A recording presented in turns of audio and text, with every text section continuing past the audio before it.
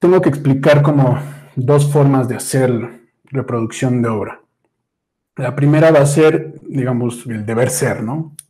Cómo deberíamos de nosotros hacer una reproducción de obra pues, profesional, ¿no? Lo más pro que se pueda. Y para eso, bueno, la problemática es que necesitamos eh, luces de estudio. Entonces, cuando tengan acceso a la escuela, al estudio de la escuela y al equipo de la escuela, podrán hacer sus registros ahí, ¿no? Ya cuando más adelante tengan que armar alguna carpeta o algún portafolio. A lo largo de los años ha habido muchas personas que justo ya tienen como una colección de sus grabados, sus pinturas, todo, de repente me dicen, oye Marco, vamos a me puedes apoyar con una sesión, se agenda y pues llega y en un par de horas empieza a registrar todo, ¿no? Se organizan para sacar todos los cuadros, para sacar todas las cosas bidimensionales como en soportes flexibles, todo lo que es tridimensión y de repente pues ya se va ahí con un montón de imágenes de muy buena calidad para, para sus portafolios, ¿no? Pero sé que esta, sobre todo ahorita, bueno, no tienen acceso a ese espacio y por lo regular... Eh, pues siempre necesitamos saber cómo de qué otra manera podemos obtener un resultado, si no super pro, decente, o sea, que se vea suficientemente bien a pesar de que no tengamos este equipo. Entonces, voy a explicar las cosas, digamos, a mayor profundidad con la ayuda de ciertas herramientas que facilitan un poco la vida y después vamos a ver qué tenemos disponible un poco en casa, sobre todo, para replicar esto que vamos a hacer. Entonces, pues para esto necesito estar cambiando continuamente de del punto de vista de la cámara. Entonces espero que no sea muy caótico porque esto va a requerir como mucho más movimiento que cualquier otra sesión que hayamos tenido. Muy bien. ¿Alguna duda hasta aquí? No, todavía no. Si me escuchan un poco distinto a como normalmente me oigo, es porque ahora traigo un, un micrófono aquí pegado y ven, estoy conectado, parece que traigo hay una colita, pero es porque estoy conectado al audio, porque como me voy a estar moviendo, si no sería como muy difícil que me estén escuchando con el micrófono que utilizo habitualmente. Entonces, vamos a comenzar. Y para eso me voy a apoyar. Vean. Otra vez, del estudio virtual. Mismo que utilizamos la vez pasada, ¿no? Entonces, vamos a hablar de reproducción de obra y vamos a empezar con lo más tradicional, ¿no? Que sería, pues, básicamente un registro de obra pictórico. Déjenme Vamos a quitar la distancia. En este caso, pues bueno, vamos a tener ahí una imitación como de un Mondrian.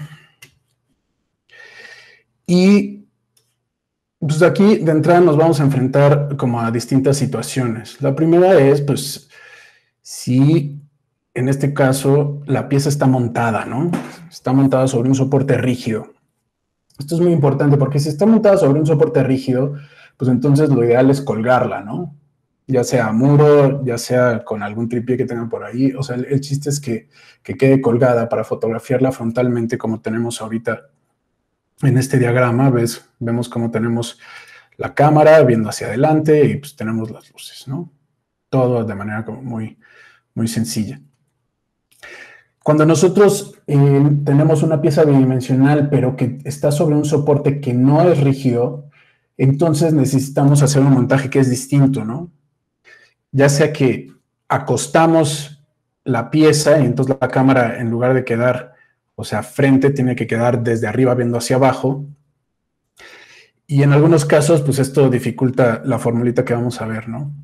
La otra es que aunque tengamos objetos que sean, que cierta flexibilidad o que sean maleables, o sea, imaginemos un grabado, este grabado también se puede montar sobre un soporte rígido y pues ya, ese soporte rígido ayuda a que nosotros tengamos exactamente el mismo setting que les estoy mostrando ahorita en pantalla. Entonces, ¿qué es lo primero que tenemos que hacer? O sea, para, para sobre todo el acomodo de las luces. Lo primero que nosotros eh, debemos de hacer es medir nuestro cuadro. ¿Cómo se mide? En este caso tengo una pieza aquí al óleo que pinté justo cuando era estudiante de la Esmeralda para el tercer semestre de bidimensión y pues ya, nunca la he tirado, pero aquí está, ¿no? Entonces, en este caso es, digamos, una pieza de dimensiones estándar, o sea, es rectangular. Ustedes seguramente más adelante van a tener piezas que pueden tender a figuras trapezoidales o pueden ser circulares o romboides, etcétera. No importa de qué tamaño sea, lo que nosotros tenemos que identificar es la distancia más larga entre un extremo y el otro de nuestra pieza, la cual vamos a estar registrando, ¿no? En este caso, pues sería la diagonal que va de esquina a esquina. Si fuera un círculo, pues sería el diámetro, ¿no? Si fuera una figura de nuevo trapezoidal, tendremos que ver y medir cuáles son las distancias, la distancia más larga de un extremo al otro de la pieza. Entonces, o sea, en este caso, yo tendría que medir, aquí está mi cinta métrica, y yo tendría que medir justamente esa distancia, que aquí aproximadamente es de 85 centímetros. Esa es como mi unidad básica. Lo que yo tengo que hacer con esa distancia es duplicarla. Y la voy a duplicar justamente para acomodar en primer lugar la cámara. Entonces, yo, de nuevo, en esta pieza, la que tenemos en pantalla, mediría y ya que he medido, Voy a duplicar esa distancia. Voy a quitar ahorita las que no me sirven. Y por ejemplo, en esta serían 85. 85 más 85 es unos 70, ¿no? Entonces, yo ubicaría la cámara, esta línea que tenemos aquí verde, en nuestro caso, en el ejemplo que les estoy mostrando aquí en la vida real, tendría que ser una distancia de 1,80, ¿va? Entonces, ya que estoy a 1,80, Voy a mover tantito esta cámara. Yo pondría mi cámara fotográfica. Ahora, esta cámara fotográfica, aparte de estar a una distancia de 1,80 del cuadro, también tengo que medir la altura. Ya está suficientemente lejos. Y está suficientemente lejos para que si yo tuviera en esta cámara un lente 85 milímetros, eh, perdón, 50 milímetros, esta es una cámara full frame, entonces sería como la distancia uno a uno. Si yo estoy a esos, o sea, a esa distancia de 1,70, entonces yo alcanzaría a ver dentro del encuadre esa obra, o sea, en su totalidad. De hecho, me quedaría como una franja eh, vacía, ¿no? O sea, no rellenaría el cuadro en su totalidad, sino tendría yo un espacio en todos los extremos para posteriormente poder recortar, ¿no? Que eso también es importante. Entonces ya tengo aquí mi cámara. Ahora, aparte de la distancia, ahorita les explico cómo medir la altura, lo que voy a hacer es orientar la cámara y que coincida con la orientación del cuadro. Si ustedes se dan cuenta ahorita, justamente la cámara está vertical, ¿no? Y eso es porque pues, mi obra o mi cuadro en este caso es vertical. ¿Es necesario que esté así? Pues no, yo la podría poner horizontal porque sé que después la puedo rotar digitalmente, ¿no? Ahorita como solamente voy a registrar esta pieza, pues no necesito justamente estar eh, cambiando la orientación de la cámara. Si tuviera muchos cuadros, pues de repente veo si hay más cosas horizontales o verticales y dejo la cámara en un solo sentido y más bien lo que voy girando pues son las piezas, son los cuadros y ya después digitalmente corrijo eso, ¿va? Entonces, vamos a regresar aquí a este setting, donde se ve más o menos todo. ¿Cómo voy a saber a qué altura poner la cámara? Quizá por la perspectiva que tiene la cámara en la que les estoy mostrando ahorita, no se alcanza a ver, pero la altura media del lente coincide con la altura media del cuadro. Y para hacer eso, en realidad es muy sencillo. Lo primero que tienen que hacer es medir el cuadro, ¿no? Así. Y les dice, ah, no, pues mide 70 centímetros, ¿no? En este caso, de alto. 70 centímetros entre 2 son 35 centímetros, ¿no? Entonces yo sabría que a partir de la base a 35 centímetros estaría más o menos el punto medio. Ahora, yo tengo que utilizar el piso. Entonces, yo tendría que medir, ahorita como tengo esta mesa para la parte de tridimensión, no es tan fácil, pero yo tendría que medir, o sea, del piso a la base de mi cuadro y sumarle esos 35 centímetros, ¿no? Y en este caso me da como 1,45. Entonces yo sé que la altura media de mi cuadro es 1,45. O sea, 35 centímetros de la base del cuadro la mitad más lo que mira la base de mi cuadro hasta el piso, que en este caso es como 1,10.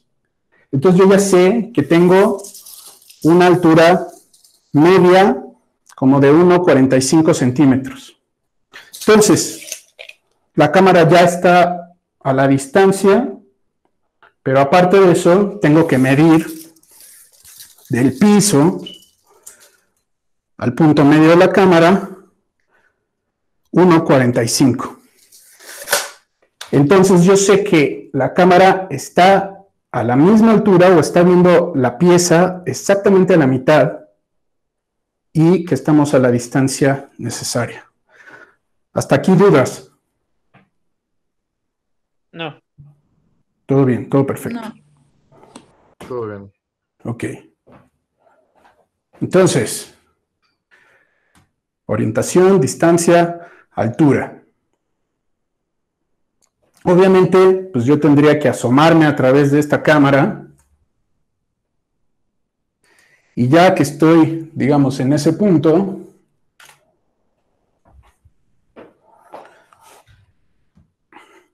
corregir pues, lo que está viendo la cámara, ¿no? Para que quede bien centrado.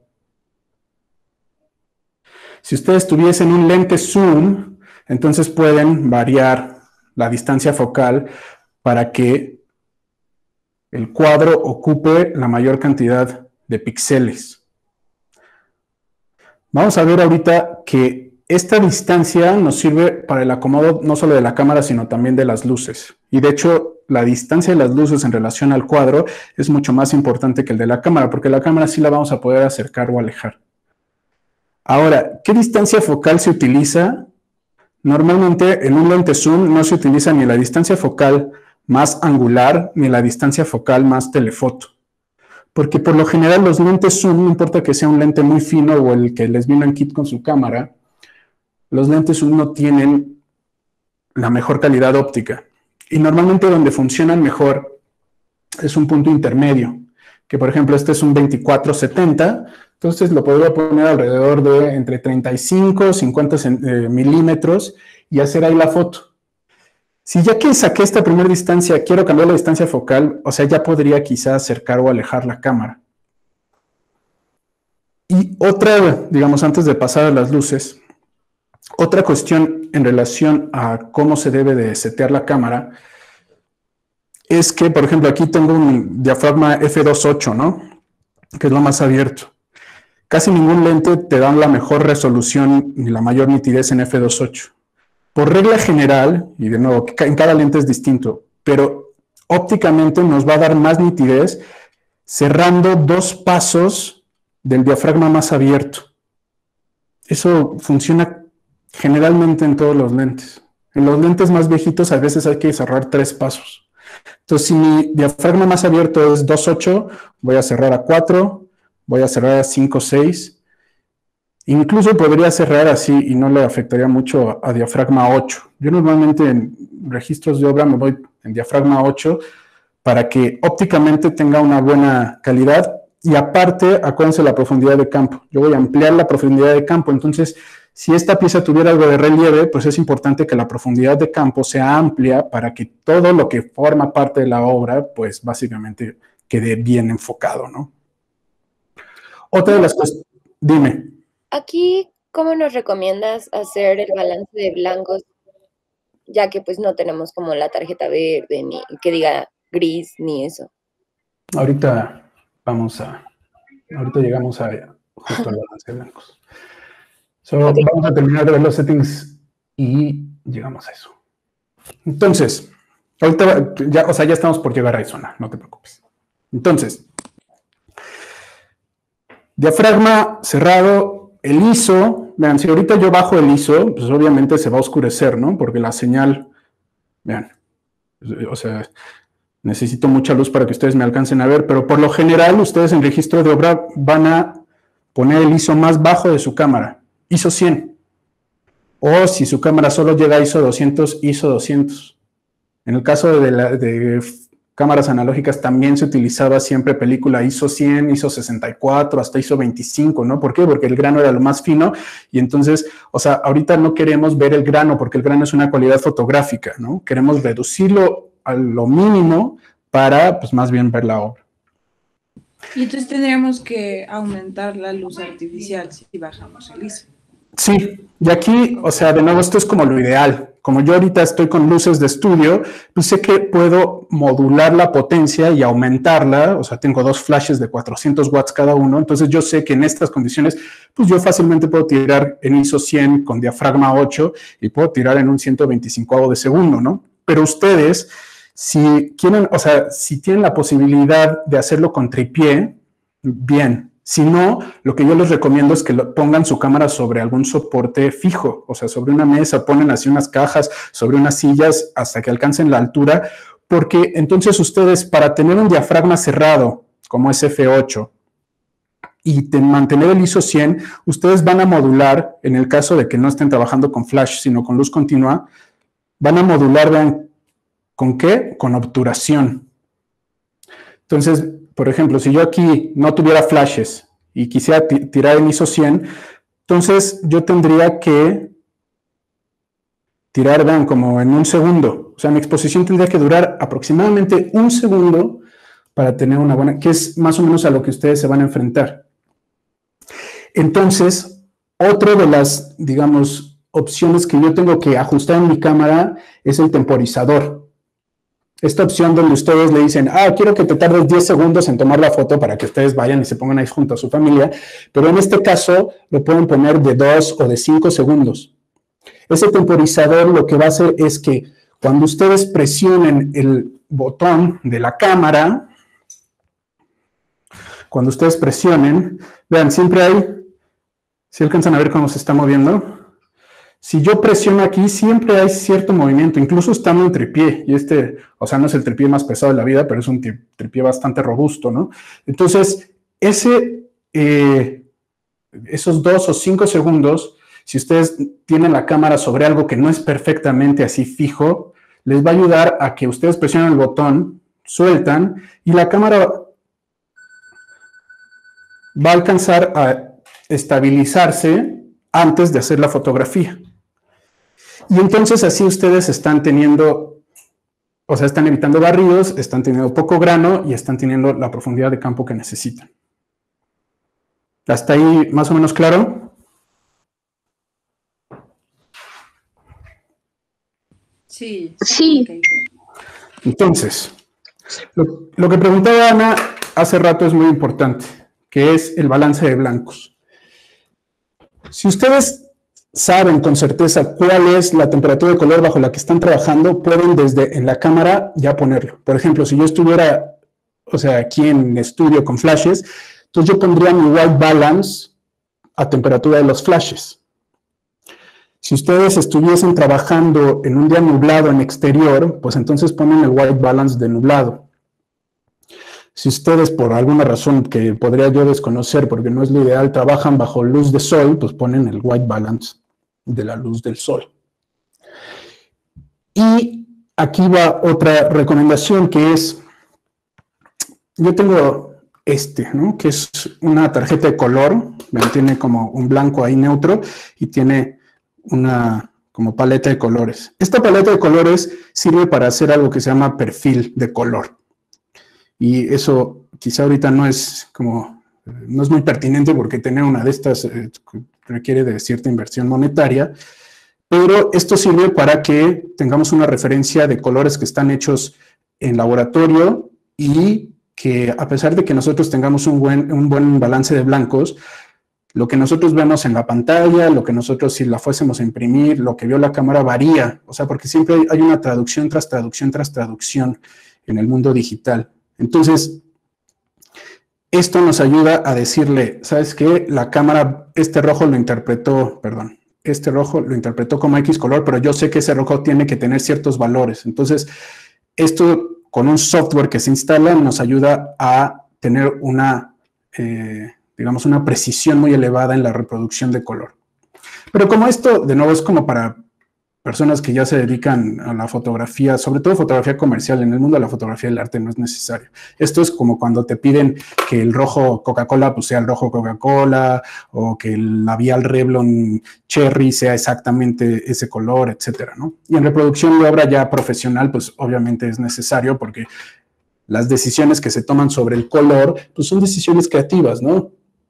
Es horrible que cuando uno busca en Google cualquier pieza así como famosa, te salen cinco y las cinco son como tienen distintas tonalidades, ¿no? Y eso es porque no se tuvo un correcto, eh, una, correcta perfilación del color.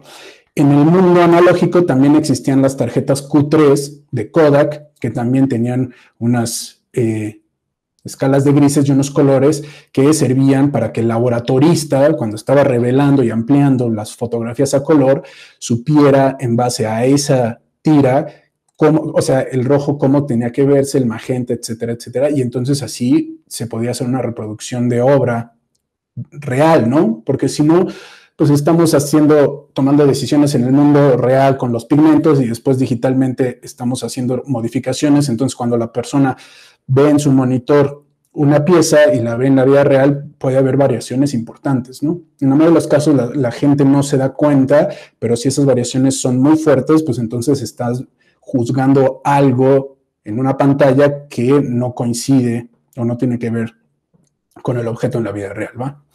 Entonces, eso solo es acotación.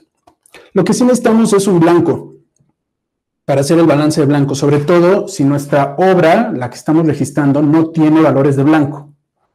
Entonces, si ustedes no tienen una tarjetita blanca y no quieren comprar una tarjeta blanca en las tiendas de foto porque son básicamente plastiquitos que cuestan una lana, o sea, el chiste es que busquen algún material lo más blanco posible, blanco neutro. Puede ser desde una cartulina. El chiste es que tengan un valor de referencia blanco. Y entonces, ya que hayan montado sus luces y todo, su primer fotografía va a ser con esa cartulina o con esa superficie blanca que a ustedes, si ya pusieron su cámara no en balance de blancos automáticos, sino en balance de blancos, o sea, definido, sea de flash, sea neutro, sea 5600 grados Kelvin, el que quieran, pero el chiste es que elijan un balance de blancos.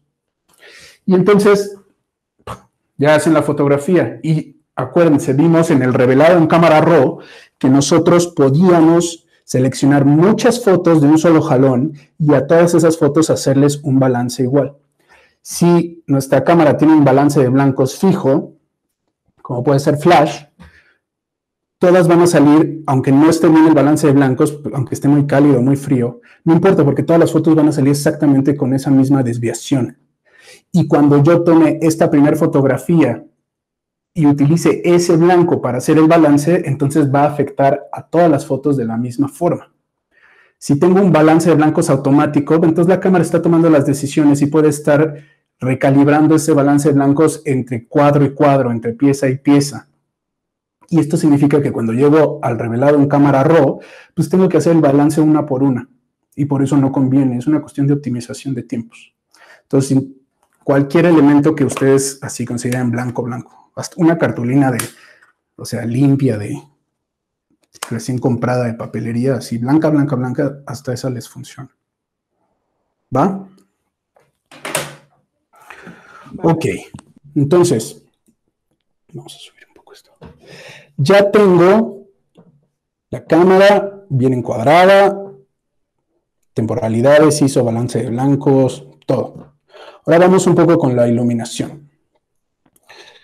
Entonces, esa primera distancia, que si se acuerdan en este ejemplo que yo estoy haciendo era de 1,70 porque era el doble de la diagonal que era 85, yo la voy a volver a utilizar para colocar mis luminarias. ¿A qué distancia tengo que colocar mis luces? A 1,70 hacia el lado derecho y 1,70 hacia el lado izquierdo.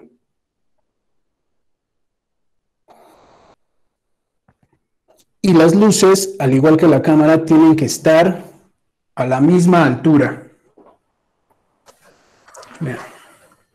Si yo tengo una lámpara, entonces la altura de la lámpara, la altura media debe de coincidir con la altura de la cámara, que es la luz, es, perdón, la altura media también del cuadro. Ahora yo, por el tamaño de esta habitación, lo ideal hubiera sido que, que el cuadro quedara más atrás, ¿no? Pero, de nuevo, tengo el ciclograma ahí atrás y no pude hacerlo, no pude moverlo mucho más. Pero el chiste es que las dos lámparas que tengo, pues quedaran así en hilerita, del lado izquierdo y del lado derecho de la cámara, a 1,70 en cada dirección. Entonces déjenme más o menos acomodar esto.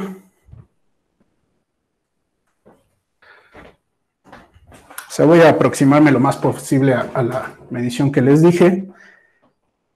Y la lámpara tiene que estar girada para ver exactamente al centro de nuestro cuadro.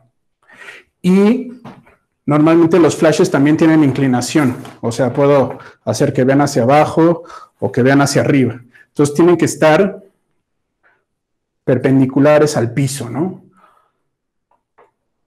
O paralelas al cuadro, como lo quieran, como lo quieran ver. Entonces aquí,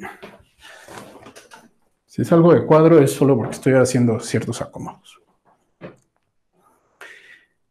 Hasta ahí, bien.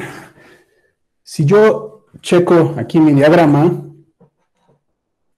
y saco estas siguientes distancias. Si yo estoy, si las luces están a 1,70 de la cámara y la cámara está a 1,70 del cuadro, entonces el ángulo de incidencia de mis lámparas en relación al plano del cuadro sería de 45 grados. ¿Sí? Las lámparas están 45 grados hacia la izquierda, 45 grados hacia la derecha. Este, digamos, es como el ángulo estándar de incidencia que debe tener una luz en relación a un plano bidimensional. ¿En qué casos puede cambiar? Puede cambiar si mi pieza tiene algún terminado brillante o si mi pieza tiene algún eh, vidrio protector. ¿Qué pasa si la cámara y las luces comparten familia de ángulos e incluso estando a 45 grados mi cámara ve el reflejo? Pues entonces hay distintas opciones. Una de las opciones es alejar la cámara y meter más telefoto y eso hace que el ángulo de visión de la cámara se reduzca, por lo tanto se reducen también la posibilidad de reflexiones, pero pues quizá ya estamos en el, digamos, en la distancia focal más telefoto de, de mi lente, entonces no puedo hacer eso.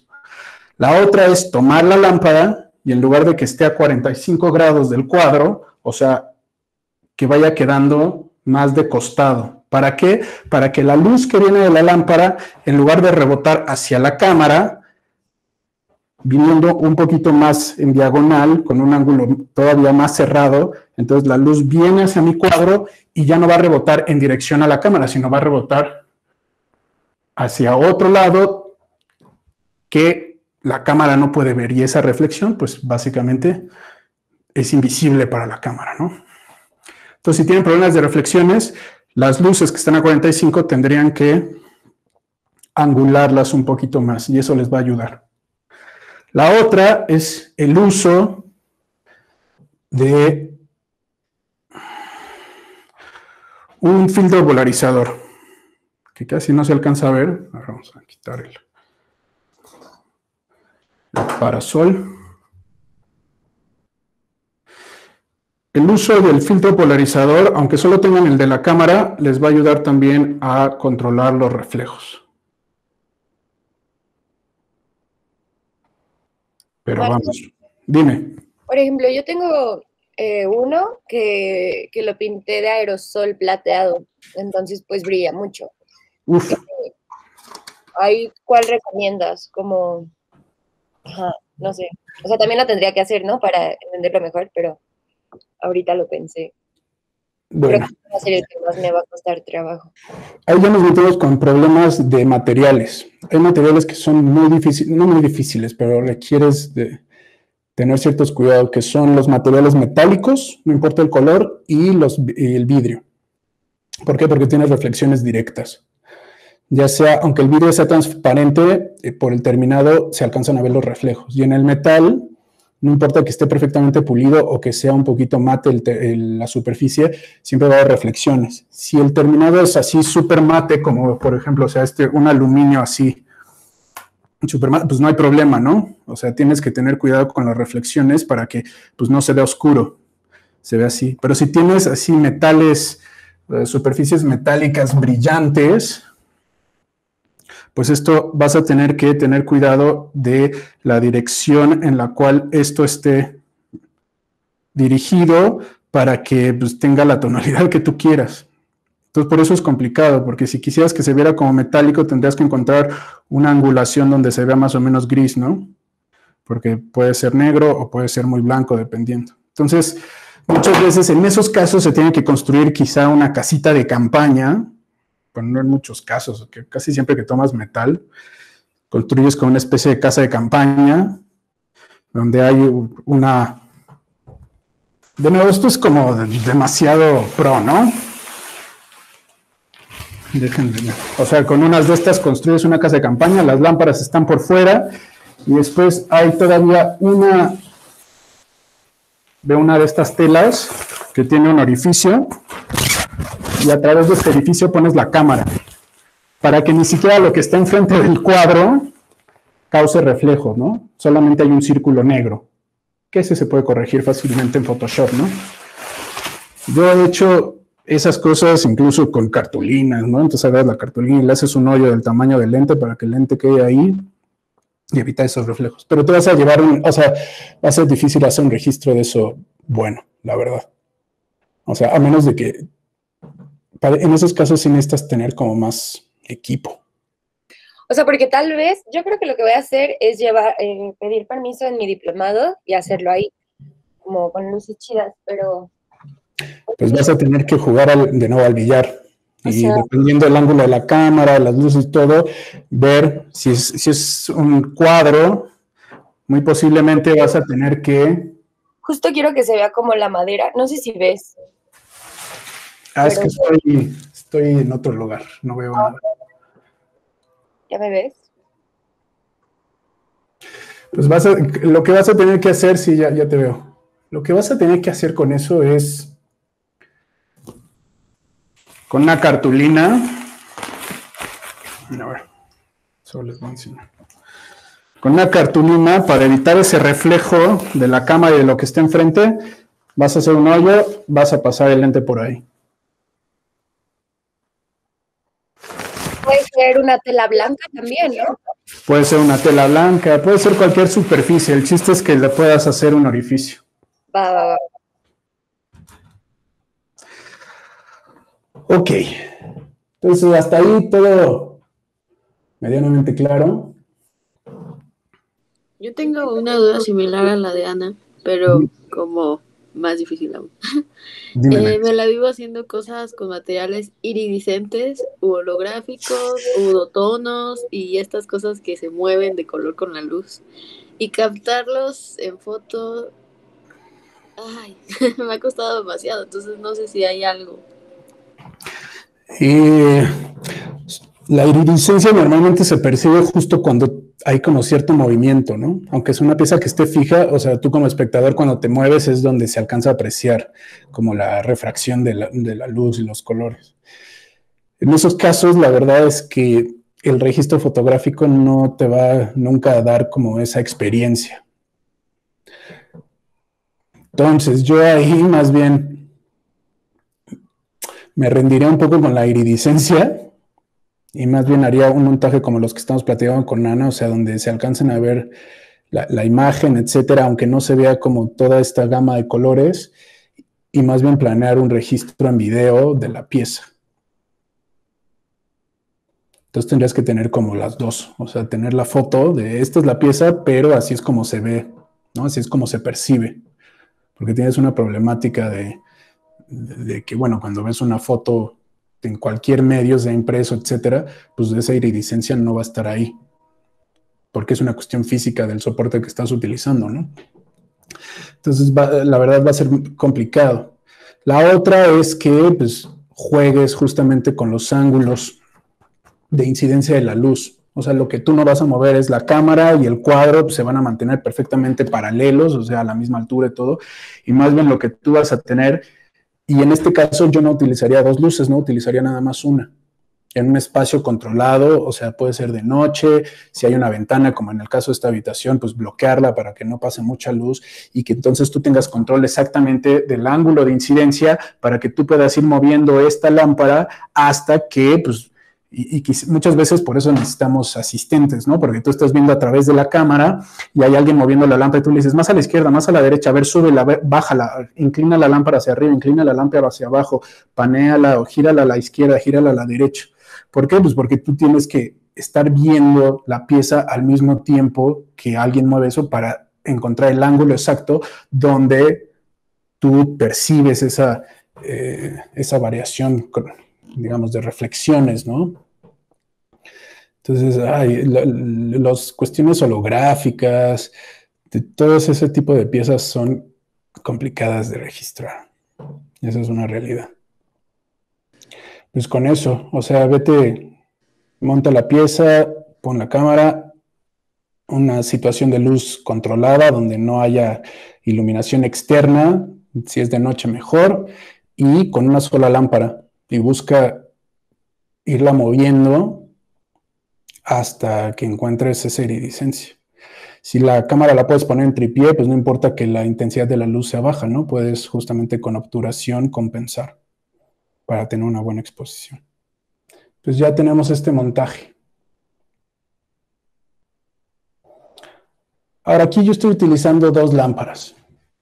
Y para medir la intensidad de esas dos lámparas, Ahorita pues no lo vamos a hacer porque de nuevo de todas formas no lo tienen. En estudio se utiliza esta cosa que se llama exposímetro de mano y esto que se llama exposímetro de mano nos ayuda a medir el flash, la intensidad del destello del flash. ¿Por qué? Porque el exposímetro en nuestras cámaras, el flash es tan rápido que no lo alcanza a detectar. Entonces necesitamos uno de estos. Y básicamente esto nos sirve para medir la intensidad de una lámpara, medir la intensidad de la otra, y si están exactamente iguales, entonces yo ya no voy a tener problemas de exposición con respecto a mi cuadro. Ustedes seguramente van a utilizar luz artificial o luz natural. Entonces, ¿qué hacen en el caso de que ustedes tengan dos lámparas con dos focos?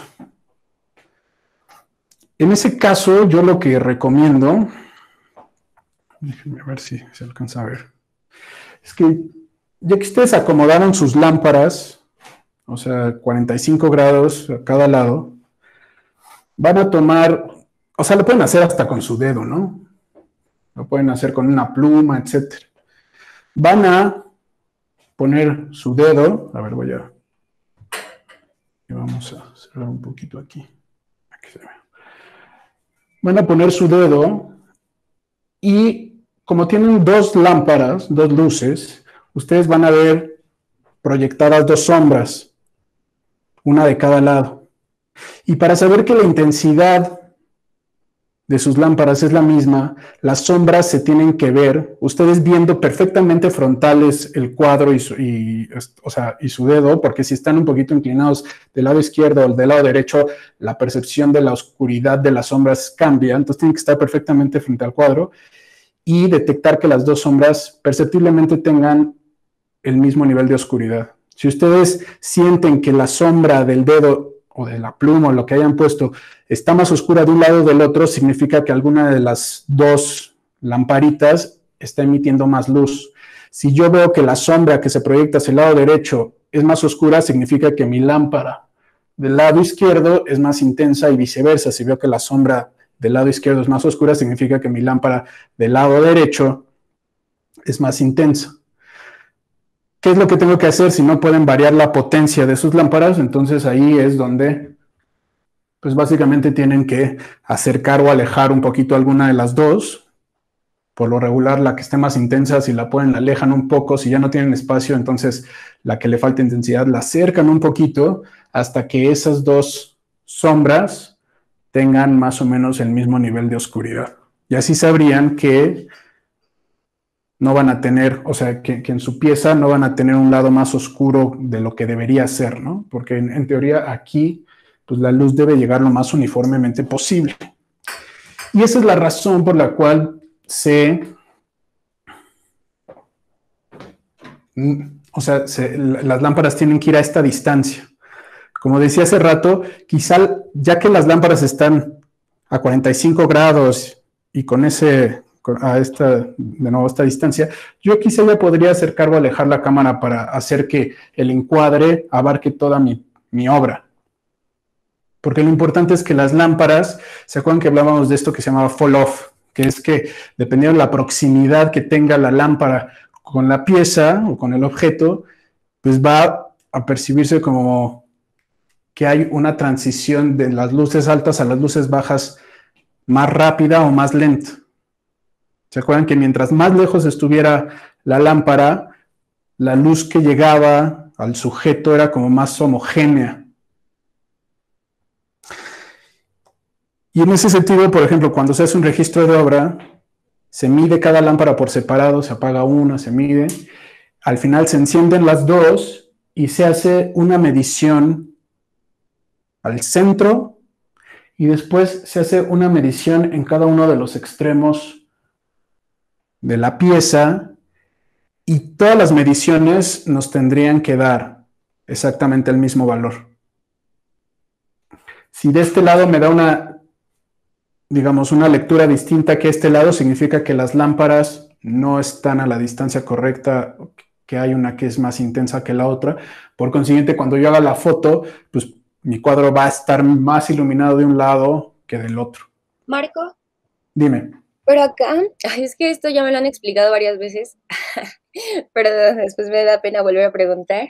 Este, pero, o sea, entiendo perfecto esto que dices de que debe de medir lo mismo, pero ya ves que puede variar no sé cuánto de tercios o algo así. Depende del exposímetro. ¿Lo mismo? depende del exposímetro. Aquí en el exposímetro hay unos numeritos. Dice ISO 100, que es como lo que mismo que yo tengo en la cámara, 125, porque estoy tomando con flash y es como una velocidad estándar, pero yo podría barrar, eh, digamos, variar eso. Y normalmente cuando yo hago una lectura, lo que me da el exposímetro de mano es, perdón, vamos a ponerlo aquí, es el número de diafragma. Ajá, ajá, sí, sí. Este número de diafragma, por ejemplo, ahí dice 1.4 y aquí tiene un 1 chiquito. Si yo varío esto, por ejemplo, ahora que me va a decir, me va a decir 2.8 y después hay un 5 ahí pequeñito, si lo alcanzan a ver. Sí. Hay diafragmas que, como este, dividen los pasos de luz en, en décimas. Hay diafragmas, hay exposímetros que lo pueden medir en tercios o en mitades. Por ejemplo, este que dice 2.8.5, en realidad significa que estoy exactamente a la mitad entre el diafragma 2.8 y el siguiente diafragma uh, más cerrado, que es 4. O sea, si un exposímetro de mano... ¿Qué cosa? No sería ni uno ni otro. está justo a la mitad. Está justo a la mitad. Si fuera 2.80, Estarías en 2.8 exacto. ajá, y si fuera 2.7, ¿hay 7? O sea, sería como 2.8.7 o .8 o 2.8.9, estarías más hacia diafragma 4. Pero es más, o sea, no es exactamente. Es que, por ejemplo, yo, yo pensaba que si pon tú, poníamos a, a diafragma 8 y sale 8.4, estaba bien porque querías 8. En realidad, ah, ya es muy complicado. Sabes que ni siquiera los valores ISO de las cámaras están estandarizados. O sea, un ISO 100 de una Nikon no es lo mismo que un ISO 100 de, una Canon. Y encima de eso, los lentes tienen algo que se llama valor T, que es el valor de transmisión. Entonces, aunque tú tengas F2 y tengas cinco lentes con F2, cada lente va a dejar pasar distinta cantidad de luz al, al sensor. Entonces, esto solo es un punto de partida. ¿no? O sea, ponerse demasiado exquisito con esto, pues tampoco está, o sea, ya es un exceso porque de nuevo va a depender también del lente que tengas. Y va a depender de, de la cámara que tengas. Sí, ¿no? porque no entendía muy bien porque a veces era como de, ah, pero ya sí está bien, sí, ya es 8. Lo que Y, sí es, por ejemplo, yo con este, al momento de hacer esas, no, es que no sé si esto sea muy abstracto para los demás que nunca han utilizado un exposímetro de mano, pero si al momento de hacer estas cinco lecturas en las esquinas y al centro, tengo un una variación de una décima, o, o sea, me dice 8, ¿no? Diafragma 8, y aquí me dice 8.1, y aquí me dice 5.6.9. ajá, ajá. Y aquí me dice otra vez punto nu- 5.6.9 y aquí me dice otra vez 8.1. O sea, para mí, eh, o sea, como que mi, mi target es diafragma 8 y entonces acepto una décima arriba y una décima abajo. Porque también está cañón que sea exacto el, el 8 en todos lados, ¿no? O sea, No, no, no está tan con esta fórmula que les estoy diciendo, normalmente obtienes, si las lámparas están bien, porque también, por ejemplo, si el focal flash ya tiene más de 10.000 eh, flashazos, cada flashazo a partir del 10.000 puede tener una ligera variación. Entonces te puede estar dando una lectura exacta y la vuelves a medir y otra vez. O cambiaste tantito la, dirección de la mano. O sea, es que hay muchísimas variables. Entonces, por eso no, o sea, sí te puede salir el 888. Mientras más lejos estén las luces, es más fácil. Sí, ok, sí, sí, sí. Perfecto. Pero esta cuestión del fall off. Si las luces están muy cerca, te puede variar muchísimo de esquina a esquina. Claro, claro. Pero si las luces están lejos, ahora yo sé que si estás trabajando con un foquito de 100 watts, pues espérate, o sea, pues no las puedes alejar muchísimo, ¿no? Si no vas a tener exposiciones de 15 segundos. Que si estás en tripié, pues no pasa nada, ¿no? Pues haces una exposición de 15 segundos con tal de, de que la luz esté uniforme y con tal de que el ISO esté en 100 y que el diafragma esté en 8, por ejemplo. Ok. Y por ejemplo, ya la última cosa. Este, si, si tengo un 1855 y un 70-300, ¿con cuál recomiendas que haga eso? Mm. O sea, si quieres asirte a lo más depurado, yo creería que tendrías, te- dependería del tamaño de la pieza, ¿no? De nuevo, si tienes un 1855, te tendrías que, ver- que, que ópticamente lo ideal es estar como en un punto medio intermedio entre lo más angular y lo más telefoto, que podría ser de un 1855, no sé, alrededor de un 30 milímetros, ¿no? Si estás en un 70-300, pues te tendrías que ir, no sé, como a un 150 milímetros. Y entonces ahí con 150 milímetros te, te alcanza el espacio para retratar la pieza por el tamaño que tiene y te alcanza el espacio para alejarte suficiente. Ah, no te alcanza, pues entonces tienes que de todas formas ponerle el 18-55 para ponerlo más o menos en ese punto intermedio y que por las dimensiones y la distancia que tienes, pues te quepa toda la pieza dentro de tu encuadre. Pero si se alcanza el tamaño, ah, o sea, ¿hay alguna opción que sea mejor o da igual en realidad? No, ahí te tendrías que meter, es que eso ya también es muy fanfarrón, te tendrías que meter como a ver ópticamente cuál es mejor lente. Hay una página que se llama DxO Mark, DXO Mark, M-A-R-K, es una compañía francesa que se dedica a, a testear, a probar lentes y te dice, este lente eh, te reproduce hasta 15 megapíxeles, este lente te reproduce 12 megapíxeles, aunque lo montes en la cámara que sea, ¿no? Es como la resolución de este lente es tal. Y el mejor diafragma para tirar es este, etc- y te, te un montón de información. Entonces así tú podrías tomar una decisión más informada de, oye, ¿qué lente es mejor para reproducción de obra? O sea, a mí cuando me contratan, pues jamás llevo un zoom, ¿no? De, de entrada llevo un lente de óptica fija. El lente que utilizo para reproducción de obras son básicamente dos. Es un 85 fijo y un 35 fijo. ¿Por qué? Porque son dos lentes así que tienen muchísima resolución, etcétera, etcétera, y sé que ópticamente me dan la mejor calidad. Pero bueno, esa es, es alguien que ya está pagando por un servicio, etcétera. Y es para archivo, que esa es otra, otra cuestión, que es, es para un PDF. Entonces, si no está en el diafragma adecuado, si no está en la distancia focal donde da una resolución, pues tampoco es tan grave, ¿sabes? Porque a- la gente lo va a terminar viendo en una pantalla o en un celular o en una tableta. Entonces esa super resolución pues no, no se va a apreciar. Esa super resolución se aprecia cuando está quizá impreso, ¿no? O si mandas un PDF de alta resolución donde le pueden hacer zoom, ah, bueno, entonces ahí sí vale la pena. Pero cuando uno está haciendo trabajo de reproducción de obra para archivo, pues lo más importante es que tengas un, una fotografía de la mejor calidad posible, porque no sabes qué uso se le va a dar, o sea, no tienes todavía una salida, es solamente para almacenarlo y tenerlo ahí para impresiones, para panfletos, para reproducción, o sea, quizá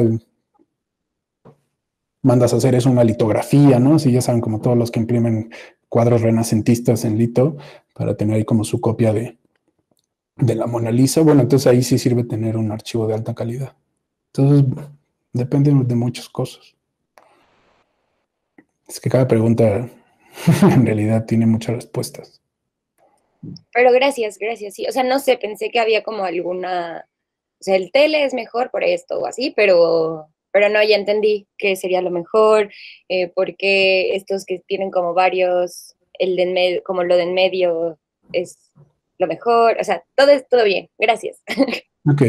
Ahora, o sea, si me preguntas así como duro y quieres una respuesta, yo me iría con telefoto. ¿Se acuerdan que vimos que los grandes angulares tendían a distorsionar los rostros? Entonces, si tú tomas una obra con un 28 milímetros, con un 20 milímetros, es probable que esté un poquito distorsionada. O sea, que las líneas que tienen que ser rectas ya se ven medio curvas. Cuando tú metes un telefoto y obviamente te tienes que alejar, normalmente la, las líneas van a estar más rectas. Las dimensiones del cuadro de la pieza artística no se van a ver tan distorsionadas. Ahora, intenta tomar una, una, una fotografía del caballito de reforma con un 200 milímetros, bueno, pues te tienes que alejar y treparte a un edificio, ¿no? Para que te quepa. Bueno, sí, ahí sí está caña. Entonces, más o menos así las cosas. Ok. Entonces, a ver. eso es más o menos como sería en, en estudio. Ahora, la, net- la verdad es que yo sé que nadie lo va a hacer así, ¿no? Porque no tienen el equipo. Entonces, vean, esta que tengo aquí es un reflector de jardín. Ese foco, pues es un foco así que se calienta muchísimo y consume muchísimos watts. Entonces, pues no es ecológico, sube mucho, si lo usan constantemente, sube mucho la factura de la luz. Pero, por ejemplo, yo hice mis primeros trabajos de fotografía con una de estas.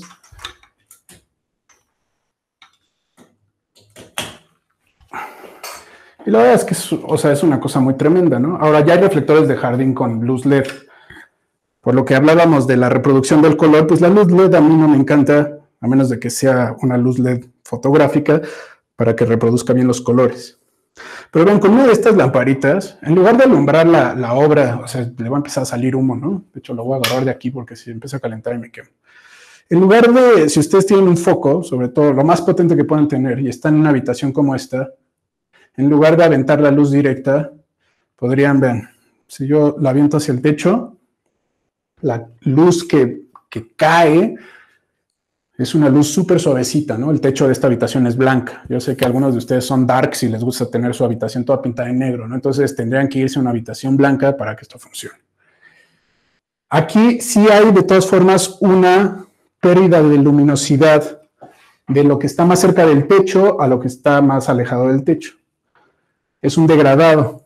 Como me preguntaba Macarena el otro día, ¿se puede corregir en Photoshop? Sí, mientras no sea, o sea, un degradado muy, muy evidente, ¿no? O sea, puedo hacer una capa, una mascarilla de degradado, aumentar la exposición para compensar, que en este caso es muy poquito. En lugar de eh, rebotarla en el techo, ¿qué pasa si yo la reboto en la pared que está justamente atrás? O sea, atrás de la, de la cámara. Incluso pensando para que le llegue lo más uniformemente posible al cuadro, que la lámpara también esté más o menos a la misma altura que la cámara para que esa luz que se está rebotando le llegue al cuadro.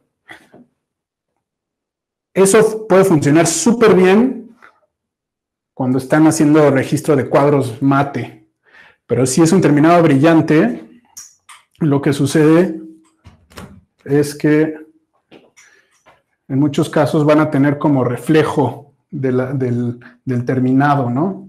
Cuando viene muy de frente. Entonces, si tienen esos reflejos, pues es mejor rebotarla quizás hacia arriba. Justo eso ha de pasar un buen con el óleo, ¿no? El hoyo. Ajá, sí, sí, sí. El, Ah, yo pensé que hablabas de las estas como cartulinas que te dije, que sirven para cuestiones metálicas, ¿no? Pero también pueden generar esto. El óleo, como es esta pintura, ahí se, le ve, se ve el, se alcanzan a ver, hasta se ve como los trazos, ¿no? Sí, sí, justo. Pues es que esto es pintura al óleo y tiene pues, cierta reflectividad. Entonces, una de estas es complicada. Ahorita que la puse de frente, quizá en la, en la cámara no se, no se veía, pero yo que estoy aquí, cuando volteé hacia, hacia acá, pues sí vi que mis negros no son negros, son grises y se alcanza a ver la textura del pincel porque estoy poniendo la luz, o sea, de frente. Entonces, en esos casos, en lugar de ponerla de frente, la ponen mejor reflejando hacia arriba. ¿Va? Déjenme apagar esto que ya empieza a hacer mucho calor. Ahora, ¿qué sucede si no tengo lámparas? ¿Qué sucede si no tengo, o sea, forma de controlar la luz? Pues entonces me voy con la luz natural. Y yo creería que la forma más fácil de abordar la luz natural es controlando la entrada de la luz con una ventana que tenga una cortina blanca. Mientras más delgada sea la cortina, más luz deja pasar. Y entonces esto se convertiría en el equivalente de su luz o de su reflejo de luz o de sus flashes o de sus lamparitas, lo que sea. ¿Dónde se pondría el cuadro? Bueno, ahorita, como pueden ver, pues, o sea, yo tengo el cuadro y la ventana está en el muro de al lado. Si yo quisiera utilizar esta lámpara, pues lo ideal sería que entonces el cuadro quedara enfrente, ¿no? Para que esto llegara. Y no solo enfrente, sino yo tendría que más o menos ver las dimensiones de esta eh, ventana, ubicar la mitad de la ventana y también colocar el cuadro más o menos a la mitad, a la altura, ¿a qué altura? Sacar más o menos la altura media de la ventana, que pues, por lo general está en la parte superior, entonces quizá tendría que buscar la manera de que mi cuadro quedara elevado para coincidir más o menos con la mitad. ¿Para qué? Para que le llegue la misma cantidad de luz más o menos de arriba y de abajo.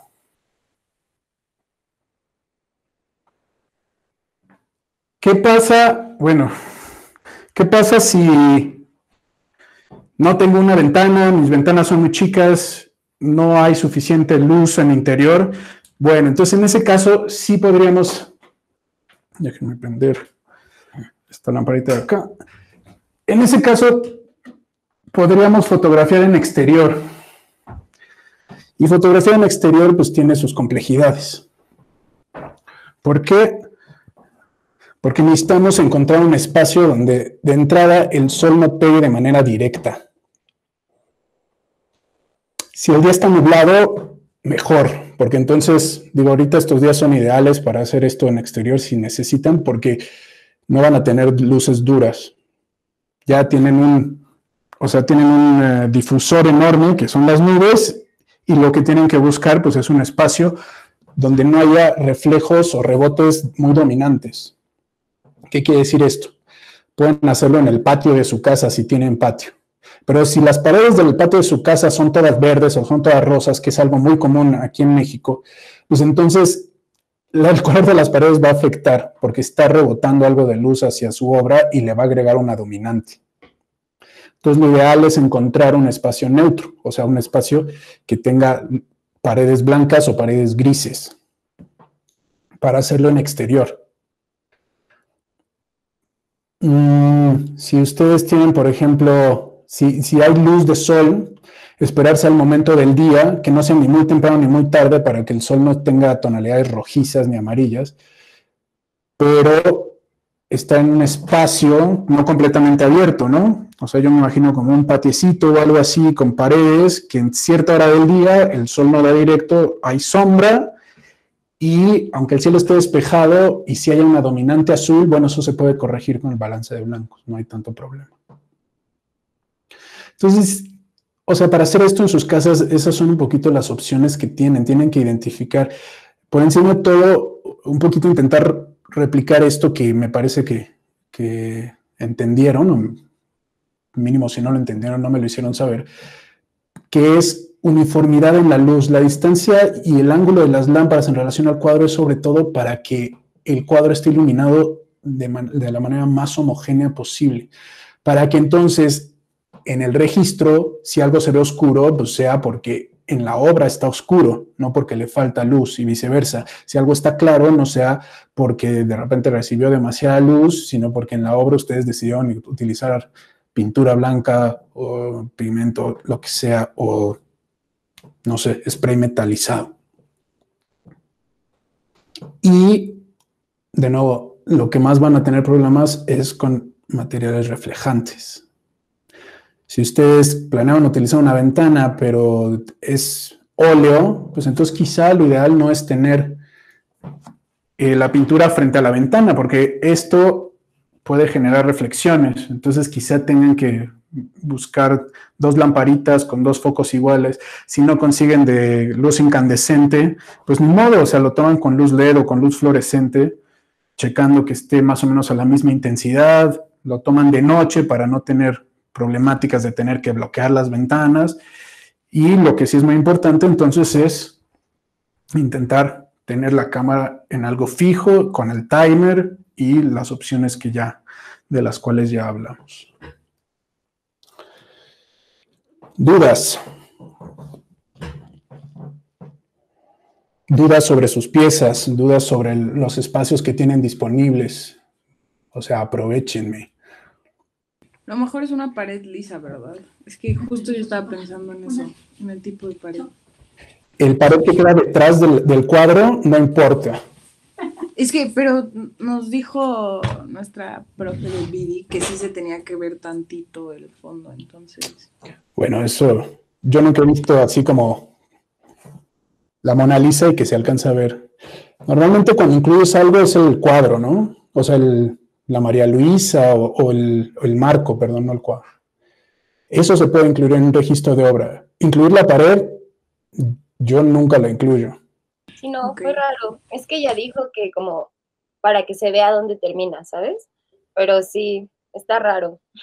Bueno, hay una realidad y les va a pasar, sobre todo si le compran lienzos al carpintero ahí de la escuela eventualmente. Y es que, bueno, no se le pasa, le pasa a la mayoría. Tener un cuadro perfectamente cuadrado, o sea, que todas las esquinas tengan un ángulo de 90 es, bien difícil. Pues nosotros perceptiblemente podemos verlo como que los ángulos son, pero ya que te enfrentas al, al cuadro de foto, te vas a dar cuenta que hay veces que el cuadro está chuequito, ¿no? Y lo puedes corregir inclinando la cámara para que coincida o hay veces que e, esa, diferencia también puede ser porque el cuadro y la cámara no están perfectamente paralelos, sino el cuadro está un poquito y tiene ya un poquito de fuga, ¿no? Entonces se puede ver que un lado es más corto que el otro. O sea, ustedes tienen que checar que esté perfectamente paralelo. Si el cuadro, vamos a regresar tantito acá. Si el cuadro está inclinado,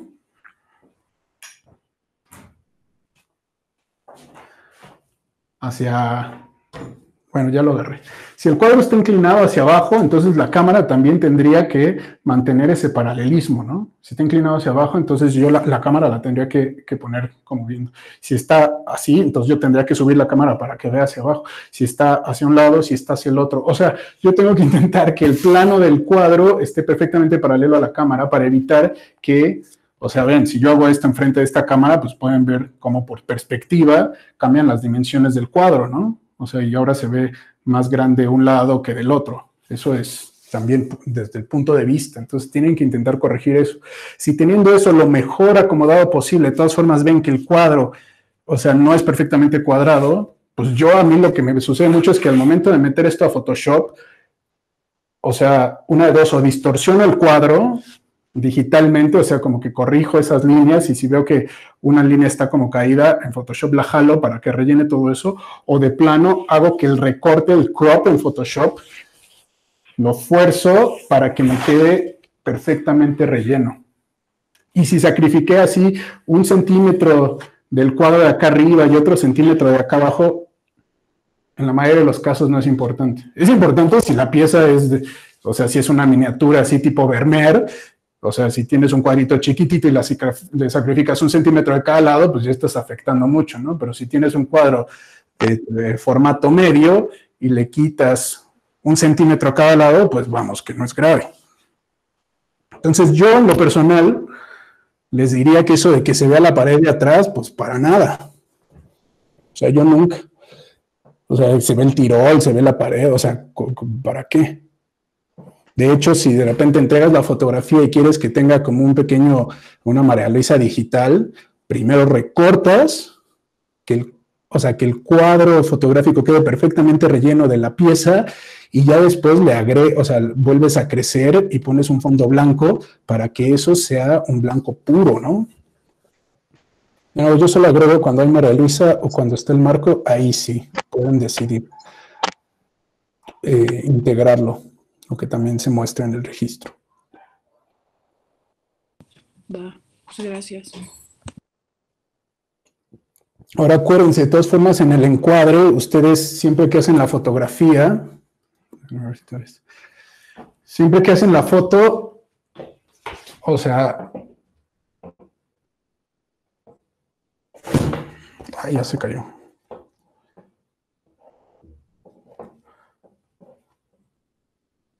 Bueno, más o menos por ahí estaba.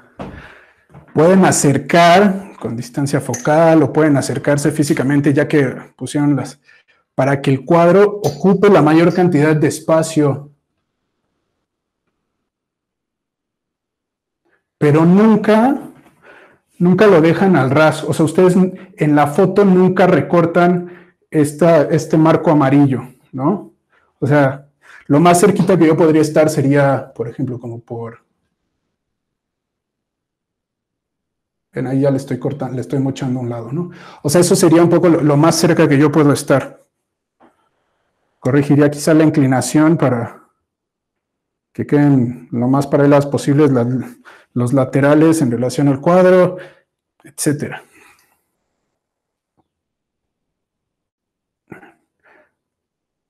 Ahí. Y ahí haría la foto para aprovechar la mayor cantidad de píxeles de mi cámara pero nunca recorto desde la foto. El recorte fino ya se hace con Photoshop. Parte de los cuadros que hablábamos que había como soportes rígidos y soportes que son un poco más flexibles, pues justamente tenemos que hablar de otra clase de montaje, pero digamos, las reglas son básicamente las mismas. Entonces, cuando nosotros eh, queremos, por ejemplo, registrar documentos o queremos registrar eh, piezas, de nuevo, que están hechas sobre un material que tiene cierta ductibilidad, que es flexible, normalmente tendremos que nosotros cambiar un poquito el setting. ¿Por qué? Porque necesitamos colocar esos, eh, digamos, documentos, esas piezas pues, sobre una mesa, ¿no? Sobre algo que esté perfectamente horizontal.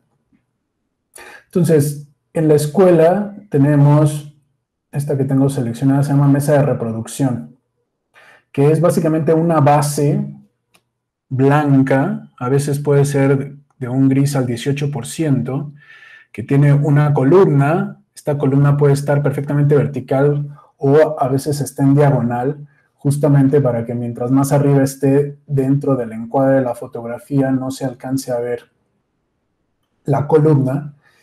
Y bueno, tiene una gran limitante, ¿no? Que es justamente la altura de la columna. Esto sirve para pues, registrar documentos hasta cierto tamaño, ¿no? Podríamos hablar quizá de, eh, obviamente, un tamaño carta, quizá 11 por 14 pulgadas ya sería como un poquito llegando al límite de las dimensiones que podemos con esta clase de montaje eh, registrar.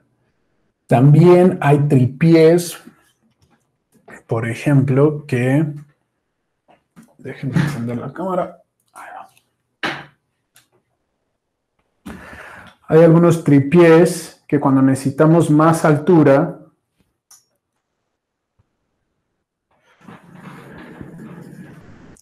nos permitirían, eh, y esto ya es algo bastante común en el mundo de la fotografía, que hay tripiés que esta columna central, este último pedazo del tripié que sale, se puede poner horizontalmente y bueno, en este caso yo podría todavía levantar más la altura de este tripié con las patas inferiores, o sea, con la parte eh, inferior de estas patas. Las podría levantar todavía un poquito más. Y en lugar de trabajar en una mesa, a mí muchas veces pues he acomodado las cosas sobre el piso o de plano he tomado un tripié como estos y lo he colocado sobre la mesa, ¿no? Y normalmente la altura que puede dar uno de estos tripiés es mayor a la que tienen las mesas de reproducción, que es la forma en la cual se llaman esas mesas que vimos. Hay veces que la cámara se puede poner directamente abajo, si como en este caso, no sé si se alcanza a ver bien la cámara, pero en este caso, pues la cámara yo la podría justamente girar para que esté viendo hacia abajo y también puede salir mucho, digamos, del, de la parte central del tripié, pero bueno, crea un contrapeso, ¿no? Entonces, cuando uno trabaja de esta manera, hay que agregar en el tripié pues unas bolsas de arena, sandbags, que básicamente son contrapesos y sirven para que, bueno, el peso de la cámara pues no se lleve el tripié hacia adelante, ¿no? Entonces, son distintas formas que tenemos justamente de tomar fotografías de objetos que son planos.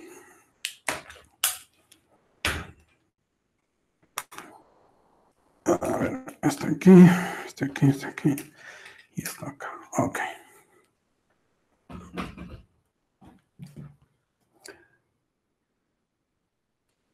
Entonces, aquí en realidad las reglas que vimos un poco sobre eh, el acomodo de las luces, pues se mantienen. La diferencia es que pues necesitaríamos justamente alguna forma o tripiés para que ese ángulo de incidencia, pues ahora va a venir como de arriba hacia abajo, ¿no? O sea, es básicamente como mover nuestro setting para tenerlo en lugar de vertical, tenerlo en horizontal. Y aquí, como pueden ver, la cámara está cerca del documento, pero lo que sí tenemos que mantener a cierta distancia, pues son los flashes, justamente por la razón que les comentaba de la homogeneidad de la luz.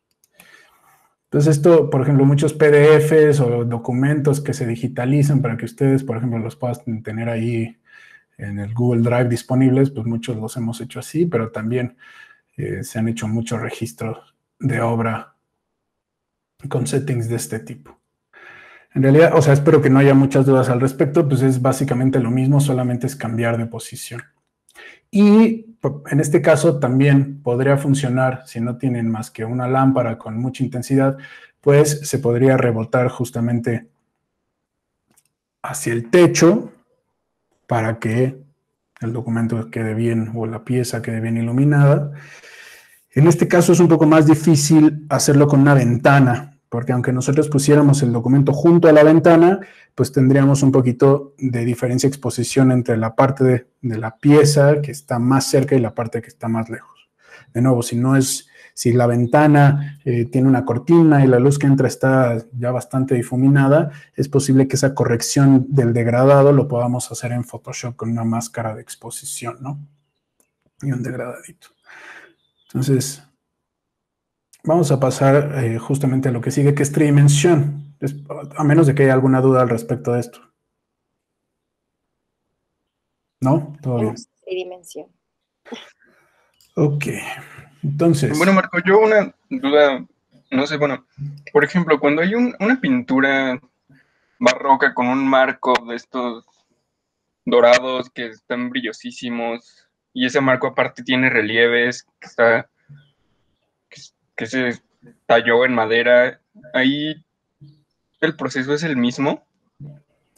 Si quieres que el marco salga en la reproducción, ¿te acuerdas en la clase pasada que veíamos una pintura justo al óleo que se veía con el reflejo y de repente la misma pintura, pero que no, o sea, que no tenía el charolazo, ¿no? Este reflejo directo. Y hablábamos de una doble polarización, que es algo que no es sencillo de hacer porque necesitas polarizar este filtro que tiene la que les mostré que tiene la cámara, que se ve como un filtro oscuro. Eh, es para polarizar el lente, ¿no? Y nos ayuda a, eliminar ciertos reflejos, pero no todos. Sobre todo, o sea, nos ayuda para eliminar los reflejos polarizados. Este, este filtrito, ¿no? Lo voy a poner acá para que se vea. Ahora, si nosotros queremos tener más control sobre el reflejo directo, necesitamos, o sea, como un equivalente de este, ponerlo en las lámparas. Que obviamente este es de vidrio, ¿no? Los que se ponen en las lámparas son como de, de un polímero, son flexibles. Pero entonces tú polarizas tus lámparas, si normalmente se usan dos, para objetos, para piezas bidimensionales. Depende del tamaño, ¿no? Si estás hablando así, como de la, libertad guiando al pueblo, que es una, no sé, pintura como de 4 por 3 metros, pues entonces quizá necesitas más luminarias, ¿no? También depende completamente de eso. Pero pensando en esto estándar, tendrías que colocar estos filtros polarizadores flexibles aquí al frente, en cada una de las lámparas, tienen una dirección, entonces los tienes que girar. Y en algún momento estos marcos, por ejemplo, que tienen reflexiones directas, porque pues tienen un terminado, tienen en algunos casos hoja de oro, ¿no? O sea, es, un terminado metalizado que pueden dar reflejos de luz directa con el juego de la polarización, puedes eliminarlo, ¿no? Y quedarte nada más con la luz como algo que ilumina de manera general, que sería como la reflexión difusa que tienen todos los, eh, objetos, pero eliminando la reflexión directa de los terminados, ¿no? De si es glossy, de si es así una superficie como esmaltada o barnizada, etcétera, ¿no? Entonces, la manera de hacer eh, esos registros sería con esto, ¿no? Con filtros polarizados. ¿Alguna otra duda? Bueno, Marco, gracias. No, ya no. Ok. Entonces, regresamos al, al espacio virtual. Registro de dibujos, etc. Ahora vamos a pasar al registro de objetos tridimensionales, que es otra de las, digamos, problemáticas a las cuales se van a estar enfrentando constantemente. Déjenme desaparecer algunas cosas. Esa lámpara, lámpara, lámpara de pie, lámpara escultura los rebotes. Vamos a quitar ahorita las banderas.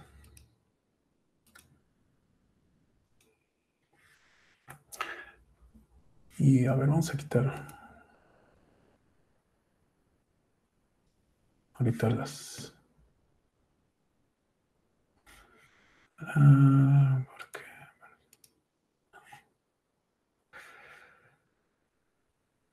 Cámara, luz, lámpara, fondo. Aquí está. Ok. Entonces, cuando hablamos de objetos tridimensionales, nos vamos a enfrentar a una problemática completamente diferente. ¿Por qué? Porque en los objetos tridimensionales a nosotros lo que nos va a interesar es justamente la volumetría del objeto. ¿Por qué? Pues porque en un medio bidimensional como es la foto tenemos que intentar representar un objeto tridimensional. Y pues eso ya lo hemos abordado desde el punto de vista fotográfico, ¿no? Que la fotografía está luchando siempre contra su bidimensionalidad. Y la única forma que nosotros tenemos de darle profundidad, no solo a una foto, una pintura, por ejemplo, pues es justo con el uso de los contrastes, ¿no? Con el uso de la teoría del color para, por ejemplo, que las pieles pues tengan tonalidades verdes, azules y cómo esto, por la diferencia en la que las frecuencias de la luz la diferencia de velocidad en la que las frecuencias de la luz llegan al ojo nos puede parecer como que una imagen bidimensional tiene profundidad como tal, ¿no? En la fotografía, pues nosotros vamos a utilizar justamente los valores lumínicos, ¿no? Y esos valores lumínicos, pues solamente van a ser visibles si el ángulo de nuestra luz, pues no es perfectamente frontal. De hecho, pues por lo regular vamos a intentar que el ángulo de incidencia de la luz pues sea justamente inclinado, ¿no? Regresamos a esta idea de los 45 grados. ¿Por qué 45 grados? Porque con 45 grados nosotros vamos a estar seguros de que va a haber una gran parte de la pieza que esté iluminada, pero que al mismo tiempo vamos a tener sombras en algunos, eh, digamos, en los costados que quedan del otro lado de la lámpara. Si nosotros la pusiéramos de frente, ¿se acuerdan que hablábamos de la luz de flash, de esos flashecitos que van arriba de la cámara, de cómo no es que no existan las sombras, sino simplemente quedan atrás de lo que la cámara puede ver y entonces no tenemos esos valores de oscuridad que son necesarios para que nuestro cerebro reconstruya lo que es el volumen de un objeto. Entonces, de entrada, lo primero que tenemos que hacer es seleccionar un fondo. Esto no es una regla. Si ustedes están hablando, por ejemplo, de land art o están hablando de intervención, pues entonces su escultura la pueden fotografiar en cualquier lugar que se les dé la gana, ¿no? Pero si nosotros queremos así algo más neutro, por lo general necesitamos utilizar uno de estos que se llaman cicloramas. Los cicloramas son de distintos materiales, hay de tela, hay de papel, hay de vinil, y son unos rollos, por ejemplo, en la escuela hay unos rollos de papel que justamente se cuelgan, aquí no tengo el portacicloramas, pero bueno, están colgados de una estructura de metal, y se colocan ya sea sobre el piso cuando vamos a fotografiar gente, o a veces ponemos unas mesas para que pues, estemos trabajando a una altura mucho más cómoda para estar poniendo estos objetos que vamos a estar fotografiando. Estos cicloramas, la intención que tienen, pues es darnos la ilusión de que hay un fondo infinito, que el espacio es etéreo. Es básicamente para eliminar distracciones y que pues, la escultura sobresalga. Ahora, el color del ciclorama es muy importante. ¿Por qué? Porque necesitamos que el fondo y la figura pues, se vean muy claramente separados. Hemos hablado de eso ya un montón de veces. Y es un análisis muy sencillo donde hay, o sea, como pocas opciones. Si como en este caso que tenemos en pantalla, el objeto que yo voy a fotografiar es claro, no solamente blanco, sino de tonalidades claras, entonces es preferente elegir un ciclorama oscuro. ¿Por qué? Pues por el contraste. Si hacemos blanco sobre blanco, pues eh, vamos a estar como en high key, todo va a estar en aunque haya sombras, etcétera, vamos a estar sobre las tonalidades más claras de la foto y entonces nosotros necesitamos contraste justo para que veamos la diferencia entre fondo y figura. Si quieren algo muy contrastado, en lugar de un ciclorama gris, pues se pueden ir por un ciclorama negro, ¿no? Y esto, pues, obviamente va a afectar cómo se percibe la pieza. Si por el contrario tuvieran una pieza que es gris, o sea, o que es negra, pues entonces tienen que buscar, a ver, vamos a cambiarle el color a la escultura. Si tuviéramos una pieza negra, pues entonces el ciclorama que yo podría utilizar, pues podría ser o un ciclorama gris o un ciclorama blanco, ¿no? Y lo mismo, si tuviéramos una pieza que es gris, pues entonces de ahí puedo decidir. El chiste es que haya contraste. Y para esto, pues, o sea, no creo que haya como mayor confusión. Los cicloramas, o sea, de colores, se utilizan dependiendo del estilo que ustedes manejen, ¿no? Si les gustan así colores muy estridentes y, o sea, es parte de su uso del color según su propuesta artística, pues claro que se podrían meter, o sea, con algún ciclorama con alguna tonalidad, ¿no? Pero, pues por lo regular no es tan recomendable. O sea, de nuevo, tiene que ser una decisión creativa.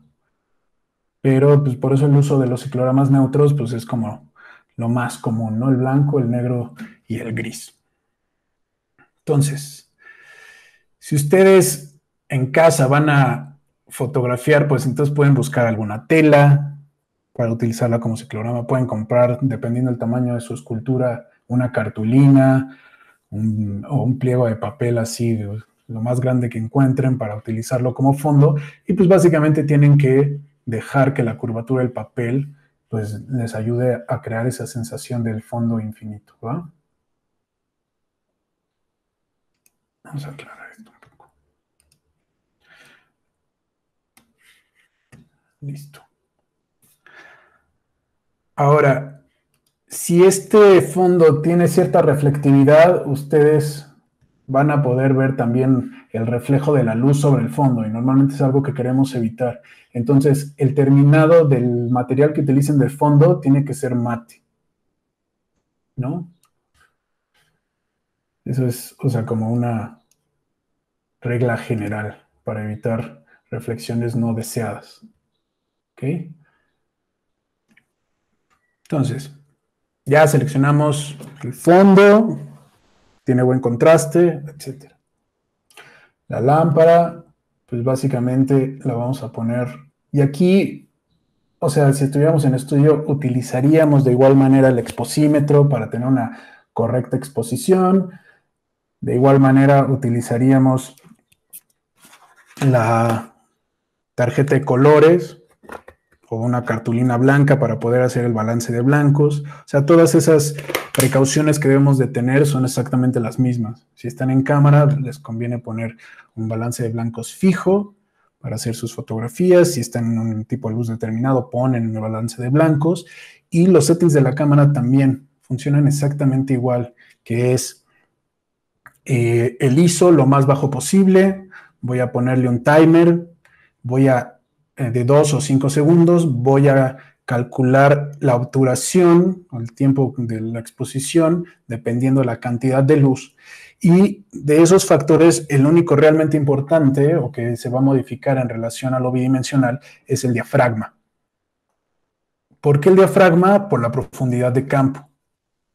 Yo sé que a nosotros, o sea, en lo fotográfico, las profundidades de campo reducidas nos ayudan justamente a centrar la atención. Pero cuando hablamos de un registro de obra, por lo general se intenta que toda la pieza esté enfocada.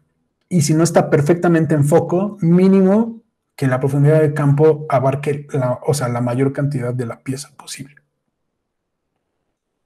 Entonces, aquí, a diferencia del la pieza bidimensional donde hablábamos de que quisiera un diafragma 5-6, un diafragma 8,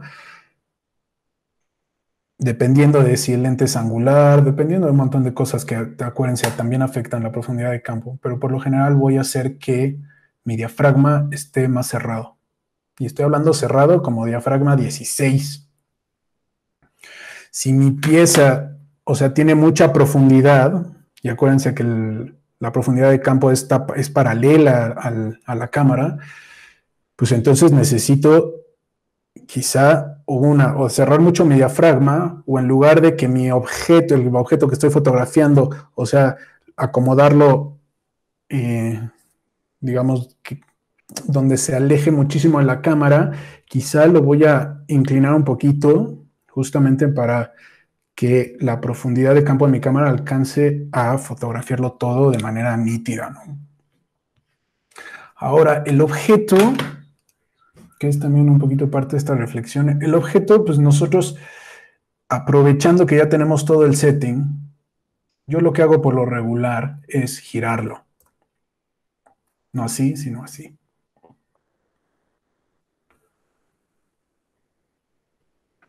Y no tomo una fotografía. Muchas veces tomo varias. ¿Por qué? Porque es muy difícil valorar en la cámara cuál es el mejor ángulo. Un ángulo perfectamente frontal normalmente es un poco aburrido, entonces normalmente hay que inclinarlo, girarlo, más bien rotarlo, para encontrar justamente cuál es el mejor ángulo de visión. Y la pregunta es como, bueno, ¿y cuál es ese ángulo? Bueno, normalmente no es como el ángulo que más me gusta porque sí hay que tomar en cuenta justamente los espacios, si es que los tiene, como los espacios vacíos que tiene la pieza. Entonces, por ejemplo, si yo lo girara aquí, sí, las luces altas me indican que algo está más cerca, las sombras me indican que algo está más lejos o que algo está detrás de. Pero si yo al girar mi pieza dentro de mi encuadre alcanzo a ver, por ejemplo, en este caso, el orificio que queda entre su brazo y su torso, eso me va a ayudar a, de nuevo, tener como más claras cuáles son las dimensiones de este objeto. Lo giro, lo giro, lo giro, lo giro. Por ejemplo, aquí ya vería el espacio que queda entre los brazos y el torso, pero también al mismo tiempo el espacio que queda entre la mano, el brazo y la parte del cuello, ¿no? Eso me da más información sobre, sobre la volumetría del objeto. Lo sigo girando, lo sigo girando. A ver, para el otro lado. La espalda, pues no sé, no me da mucha información. Ahí vuelvo a ver un orificio. Ahí de repente vean cuántos aparecen, ¿no?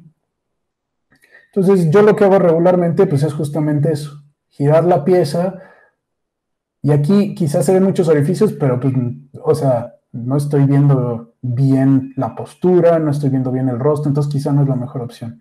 Quizá lo giraría un poquito más para encontrar un punto donde por ejemplo, ahí no estoy viendo el brazo de atrás. Entonces, como mantener esos dos orificios, pero lo giro un poquito para que también tenga esas sombras, ¿no? Entonces, hay que rotar, rotar y ver el objeto y ver en qué momento se alcanza a reconstruir el volumen de manera más clara. Y por eso no se puede tomar una foto. No es como de, ah, ya tomé esta y ya. Más bien es tomé esa y después tomé esta y después tomé acá y después tomé esta. O sea, tener varias opciones para que ya que yo las vea en mi computadora, en mi pantalla, pues justamente pueda tomar una decisión de cuál es la mejor. En las piezas escultóricas muchas veces ni siquiera se pone solamente una opción. O sea, puedes poner dos o tres fotografías de distintas vistas de la escultura para justamente describirla de mejor manera.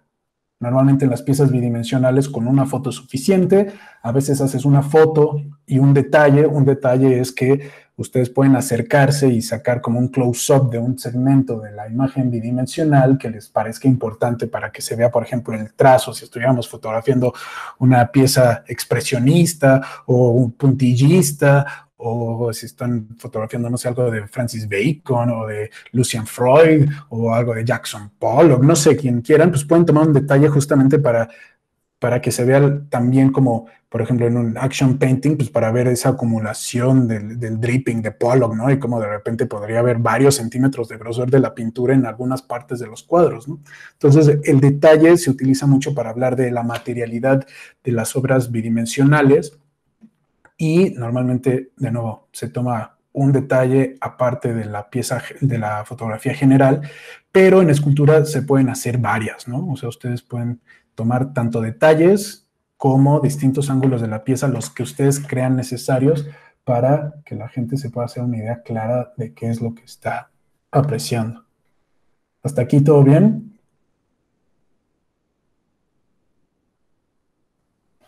Ok, todo. Sí, sí, todo bien. Entonces, además del ángulo, además de todo lo que ya hablamos, hay otro aspecto que tenemos que tener como en consideración, que es la dureza de la luz. Habíamos hablado de que hay luz suave y que hay luz dura, que depende del tamaño de la fuente de luz. Una luz dura es una fuente de luz pequeña, una luz suave es una fuente de luz o una superficie, en el caso de un difusor, que hace que el ángulo de la luz llegue de distintos puntos, ¿no? En lugar de un punto concéntrico como es una fuente de luz pequeña. Entonces, por ejemplo, voy a apagar aquí todas las luces. Y si yo agrego ahorita, por ejemplo, un foco,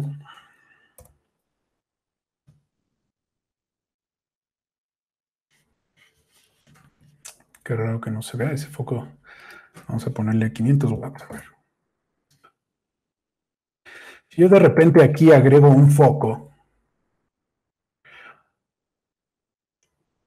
la calidad de la luz, suave o dura, me va a permitir ver el terminado. Si es algo mate, si es algo brillante. Y entonces eso también lo tenemos que tener a consideración. Si nuestro objeto como tal es un objeto que es así perfectamente mate, no importa tanto, digamos, el tamaño de la fuente de luz, porque el reflejo de ese objeto ya es un reflejo mate.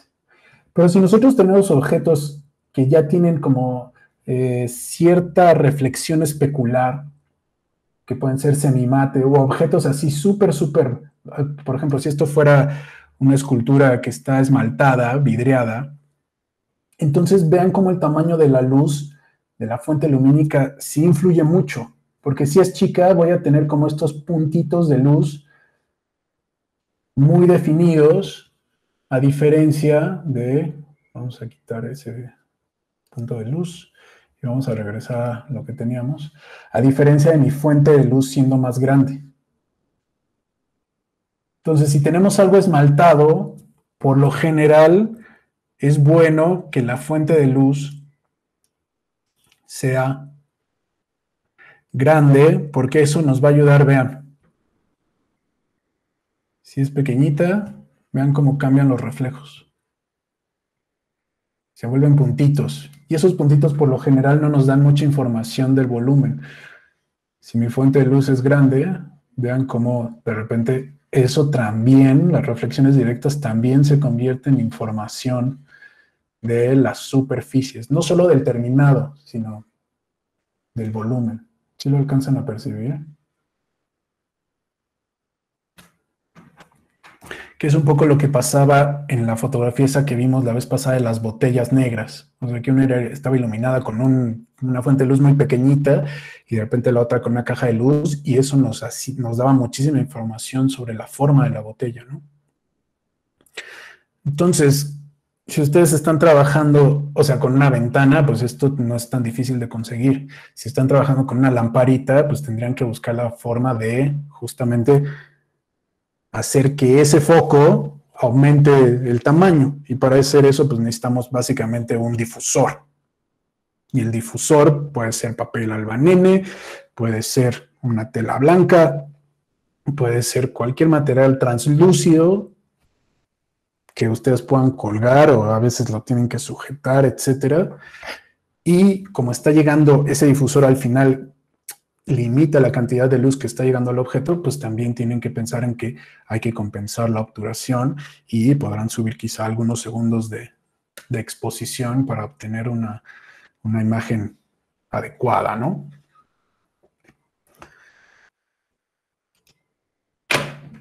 Entonces, a ver.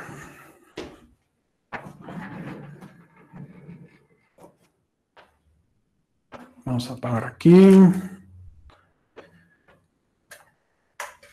Y voy a apagar. Entonces, vean, este es un ciclorama gris. Es un ciclorama, en este caso es de vinil.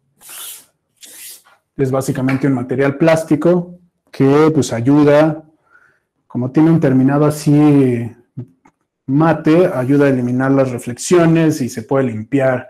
Hay cicloramas de papel que por lo general se ensucian mucho más rápido y hay rollos que uno compra y miden, no sé, 11 metros y cada que se ensucia un cacho, pues lo cortas y sacas un poquito más del rollo. Estos son cicloramas pequeños, hay cicloramas de hasta 2,75 para ya fotografiar personas y de nuevo ya se colgarían mucho más alto y esto se extendería hasta el piso y ya pueden colocar a una persona, ¿no? Los costos obviamente varían un montón. Un ciclorama de ese tamaño de vinil cuesta como 8 mil pesos. Uno así chiquito de unos 50 para trabajar en mesa, pues ah, este cuesta como mil pesos, algo así. Los de papel son más baratos. También hay cicloramas de tela si ustedes van a comprar un ciclorama de tela por alguna razón, normalmente la tela que se utiliza es una tela que se llama muselina. El problema de los cicloramas de tela es que tienden a arrugarse un montón. Entonces, cuando uno los almacena, no es bueno doblarlos y guardarlos, ¿no? Lo mejor es montarlos sobre un rollo. Adentro de esto hay un rollo de cartón para que de todas formas se guarden enrollados para evitar eso. De todas formas, aunque uno los guarde así, hay veces que tienen que tener una de estas vaporeras que sirven para planchar, para justamente eliminar las arrugas que se puedan generar en un ciclorama de tela. La ventaja de un ciclorama de tela es que si se ensucia, pues uno lo mete a la lavadora y no tiene que estar desperdiciando y cortando como sucede con los papeles, con los cicloramas de, de tela, ¿no? Ahora, como yo no tenía aquí ninguna escultura así como super pro,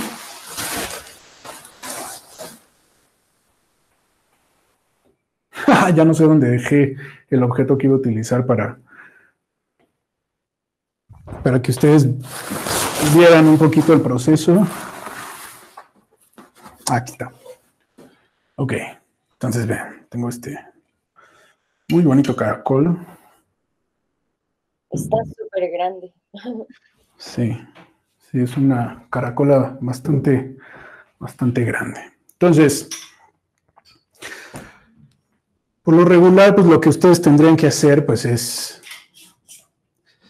lo mismo. Tienen que definir una distancia focal.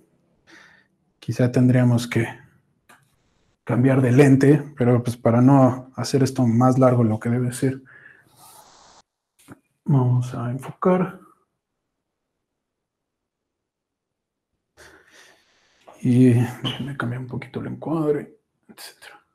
Aquí la distancia focal afecta de la misma forma que afecta eh, los cuadros, que afecta los retratos, que es la distorsión, ¿no? Este lente, por ejemplo, es un lente súper gran angular, entonces, pues eso también hay que tomarlo en cuenta, ¿no? Quizá lo ideal sería meter un lente todavía más telefoto para que este objeto no estuviera tan distorsionado, ¿no? Porque, de nuevo, si en un gran angular acerco, pues las dimensiones se ven así como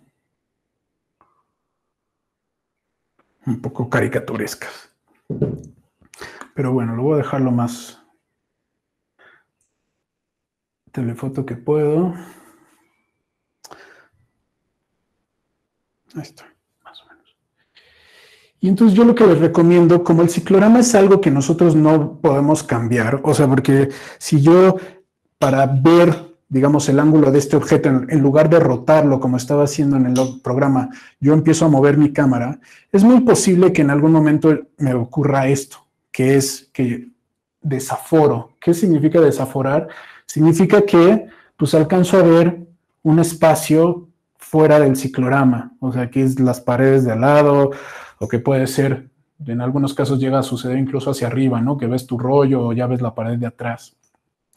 Entonces, cuando trabajamos en ciclorama, lo ideal, voy a abrirlo tantito para que se vean mejor mis manos, lo ideal es trabajar en la parte central de mi ciclorama. O sea, si mi ciclorama mide 3 metros, pues al 1,50, si mide 1,50, o sea, yo estoy más o menos ubicado, no tengo que medir nada, ¿no? Solamente es, ah, pues me voy a ubicar más o menos al centro, porque cuando yo estoy encuadrando, pues eso me va a dar libertad de moverme quizá un poquito a la izquierda, quizá un poquito a la derecha, sin desaforar, ¿no? Que eso es la parte importante, que todo lo cubra el ciclorama. A mí, por lo general, aunque tengamos este, digamos, la intención de esta superficie es que se sienta como un espacio etéreo, sí se alcanza a ver como esta línea, ¿no? Si ven la diferencia de la iluminación de aquí al fondo. Y aunque el ciclorama no cae así como perfectamente cuadrado, sino que hay una curvatura, pues es muy normal que en esa línea, en esa curvatura que se hace, pues siempre haya como una diferencia de luminosidad, ¿no? Entonces, por lo general a mí me gusta, por ejemplo, que esa línea quede paralela un poco a las líneas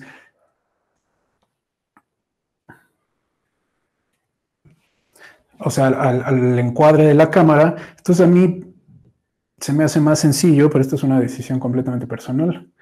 A mí se me hace un poquito más sencillo girar el objeto, ¿no? Entonces giran el objeto y encuentran un ángulo que les gusta, de nuevo. Puede ser así para ver toda la longitud, ver cuál es la parte importante de la pieza. Ah, no, pues esa no. O sea, quizás lo que me interesa es justamente que se vea un poco, que es grande, que es extenso y me interesa que se vea la textura, ¿no? Entonces ya digo, ah, pues más o menos quizá ahí, ¿no? No sé, se ve un poco raro porque como que... Ah, se acabó la pila, déjenme cambiarla rápido.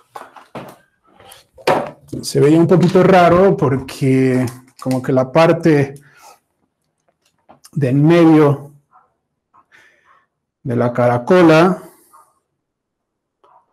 Ahí está.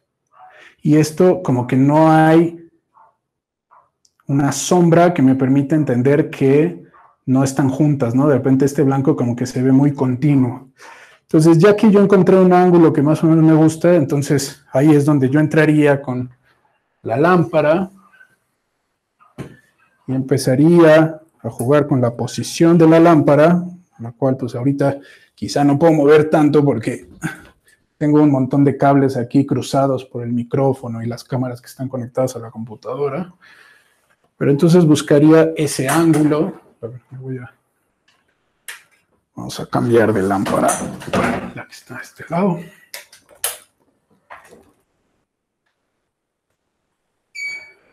Entonces vean, antes se veía como la parte central y la como la colita, se veían como un blanco continuo. Entonces, ya pasándome de este lado, tengo valores de sombra aquí, que ya lo separan muy bien.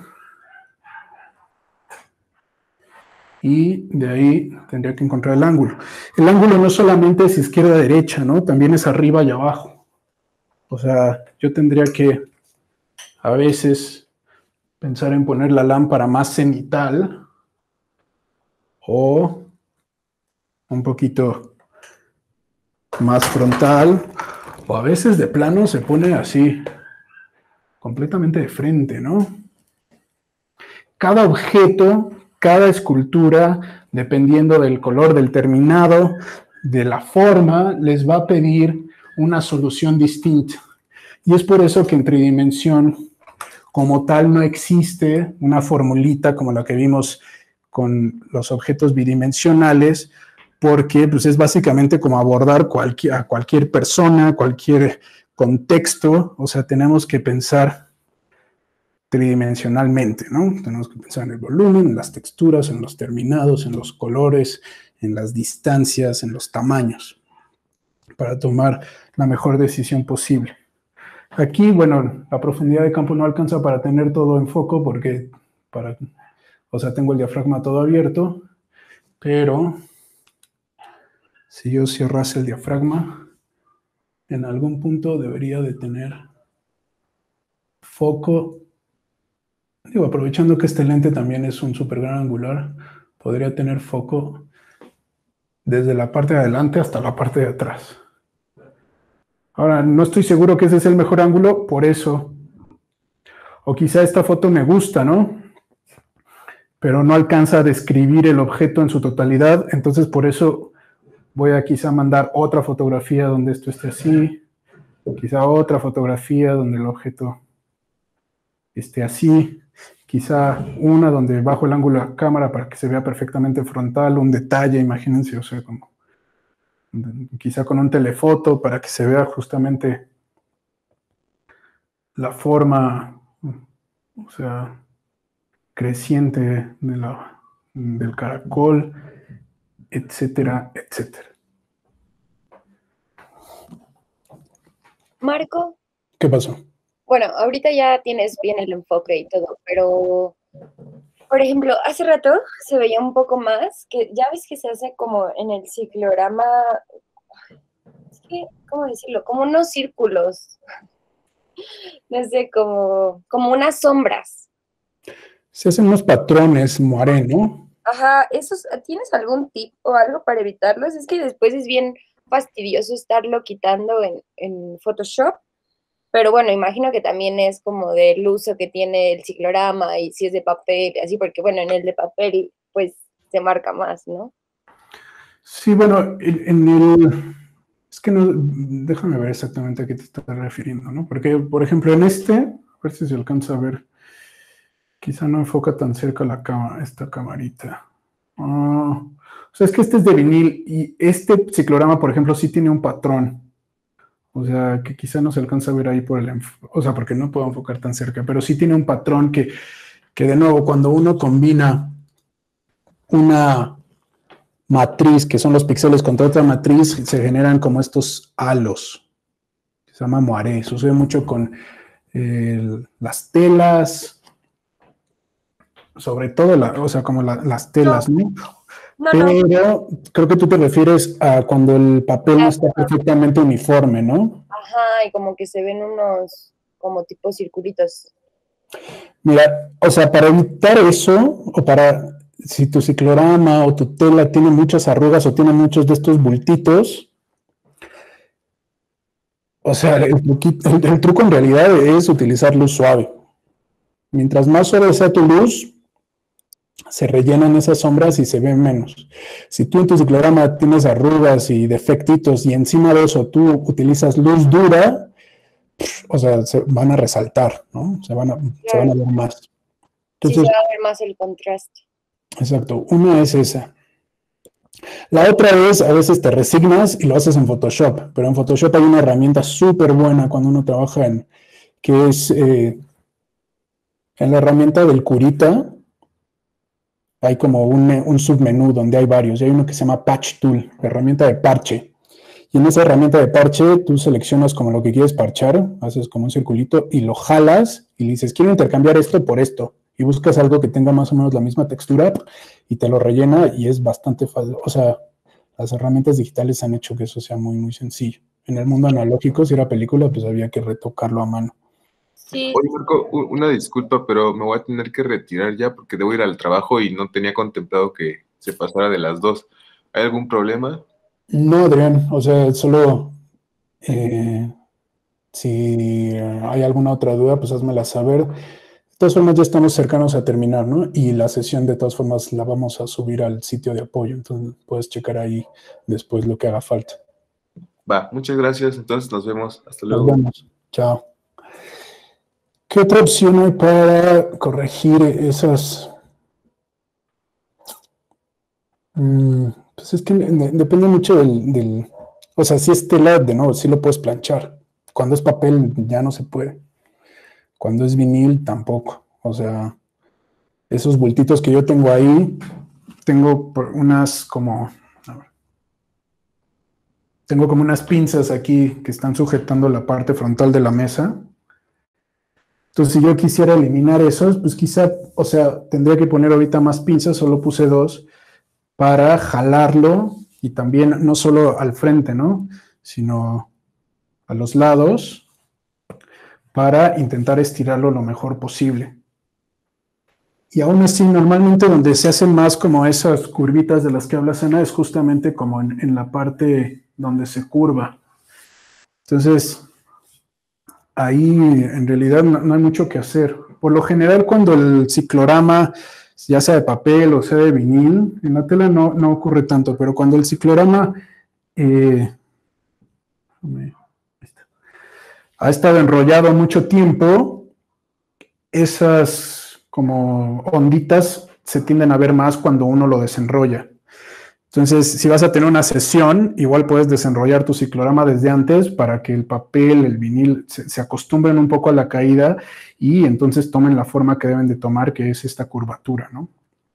Por ejemplo, ahorita que ya lleva unos minutitos desde que lo abrí, ya se empiezan, o sea, po- poco a poco van desapareciendo un poquito, un poquito más y un poquito más, ¿no? Entonces, pues es eso, tienes que tensarlo lo más posible, dejarlo ahí un ratito y ya. Si no, pues Photoshop.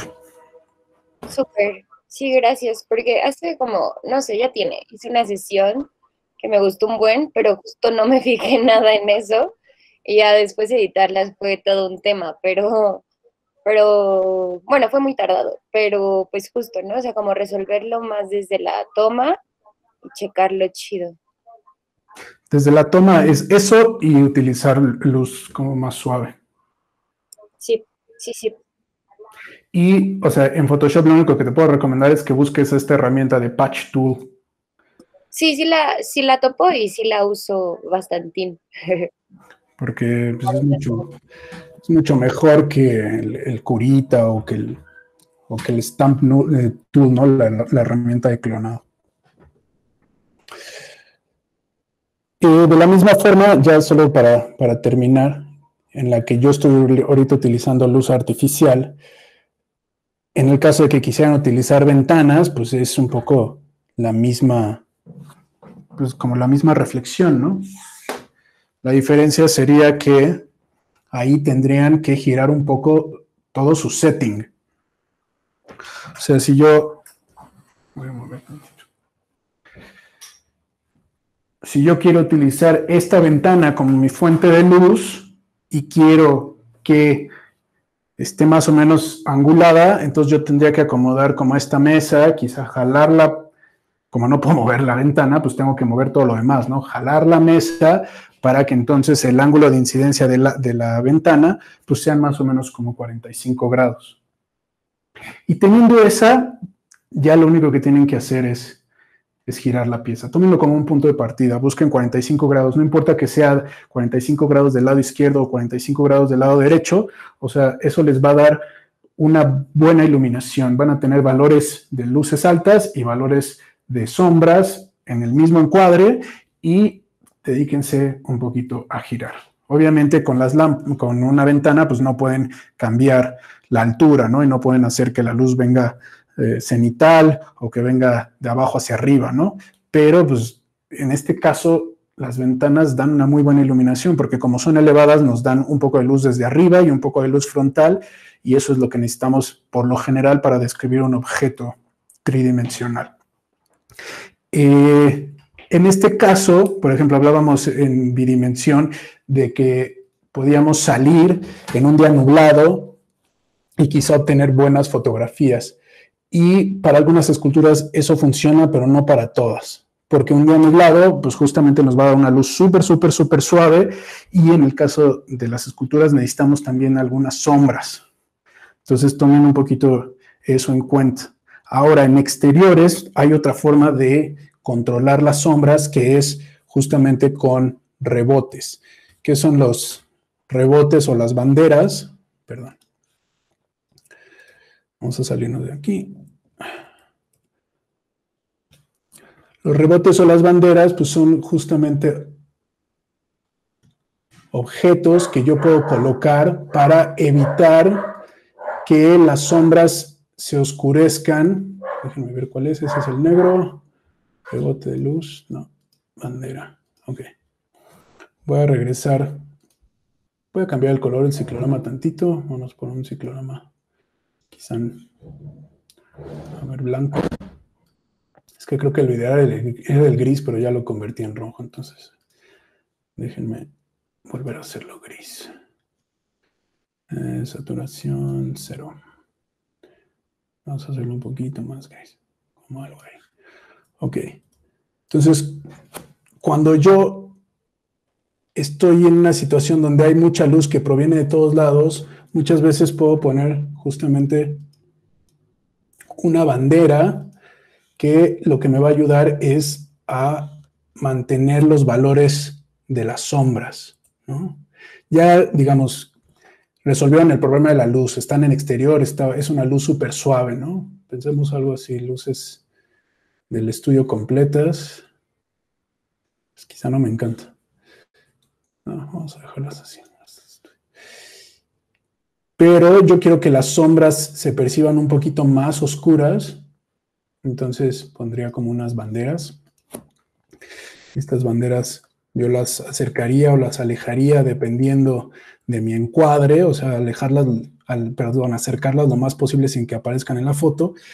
Y como esta bandera está de alguna forma evitando que la luz blanca que se está rebotando del fondo o en el caso que esté en el exterior de alguna pared ya no llega al sujeto, entonces estas sombras se van a mantener un poquito más oscuras. Y de esa manera ustedes pueden controlar. A ver, vamos a cambiar un poquito el terminado, roughness. Por ahí. Y déjenme acercar esto un poco más. Ahí voy, es que estoy cambiando algunas cosas para que sea más evidente.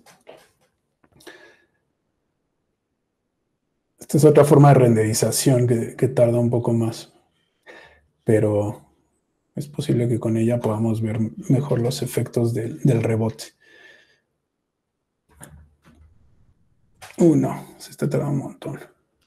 Bueno, tendrán que confiar, confiar, en mi palabra ya que no se percibe. Pero con el rebote, obviamente, fuera de cuadro, yo puedo controlar que se rellenen más las sombras y de alguna forma controlar qué parte quiero que se mantenga más oscura y qué parte quiero que se mantenga como más clarita, ¿no? Sobre todo en espacios abiertos. Ok. De la misma manera, también en lugar de rebotes se pueden, eh, bueno, banderas, se pueden poner rebotes. La diferencia de una bandera y un rebote es que pues, la bandera bloquea la luz y el rebote más bien nos sirve para rellenar. Si ustedes sienten que la sombra está muy oscura, pueden poner una tela. Se utilizan mucho placas de unicel, que, de estas que venden en Lumen, porque reflejan muy bien la luz. Entonces, muchas veces ayuda a, cuando estamos trabajando con una sola lámpara, nos ayuda mucho a agregar luminosidad en alguna parte de la imagen que, perdón, en alguna parte del objeto que no está recibiendo luz directa, ¿no? Entonces viene la luz de la lámpara, rebota en esta superficie y ese rebote rellena un poquito las sombras. Si de repente tienen como más chance o más, más equipo, lo que también se acostumbra mucho es trabajar con más luces, sobre todo cuando quieren un fondo perfectamente blanco. Eh, se pueden poner justamente luces que solamente iluminan el fondo. ¿Para qué? Para que sea así lo más blanco posible. Y en el caso también, Ana, de lo que estabas preguntando, esto también ayuda a eliminar todas las imperfecciones que pueda tener el fondo.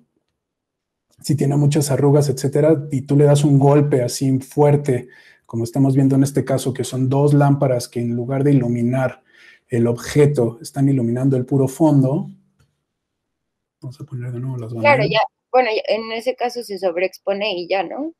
Ajá, sobreexpones. Lo que sí vas a tener que limpiar, pues sería la parte de abajo, ¿no? Donde está descansando, ya sea la persona que sea el piso, o en el caso de este, pues como la mesa, ¿no? Porque pues, ahí sí vas a tener necesariamente valores de grises. Entonces, pues mínimo ya te saltas la bronca de tener que estar limpiando los fondos.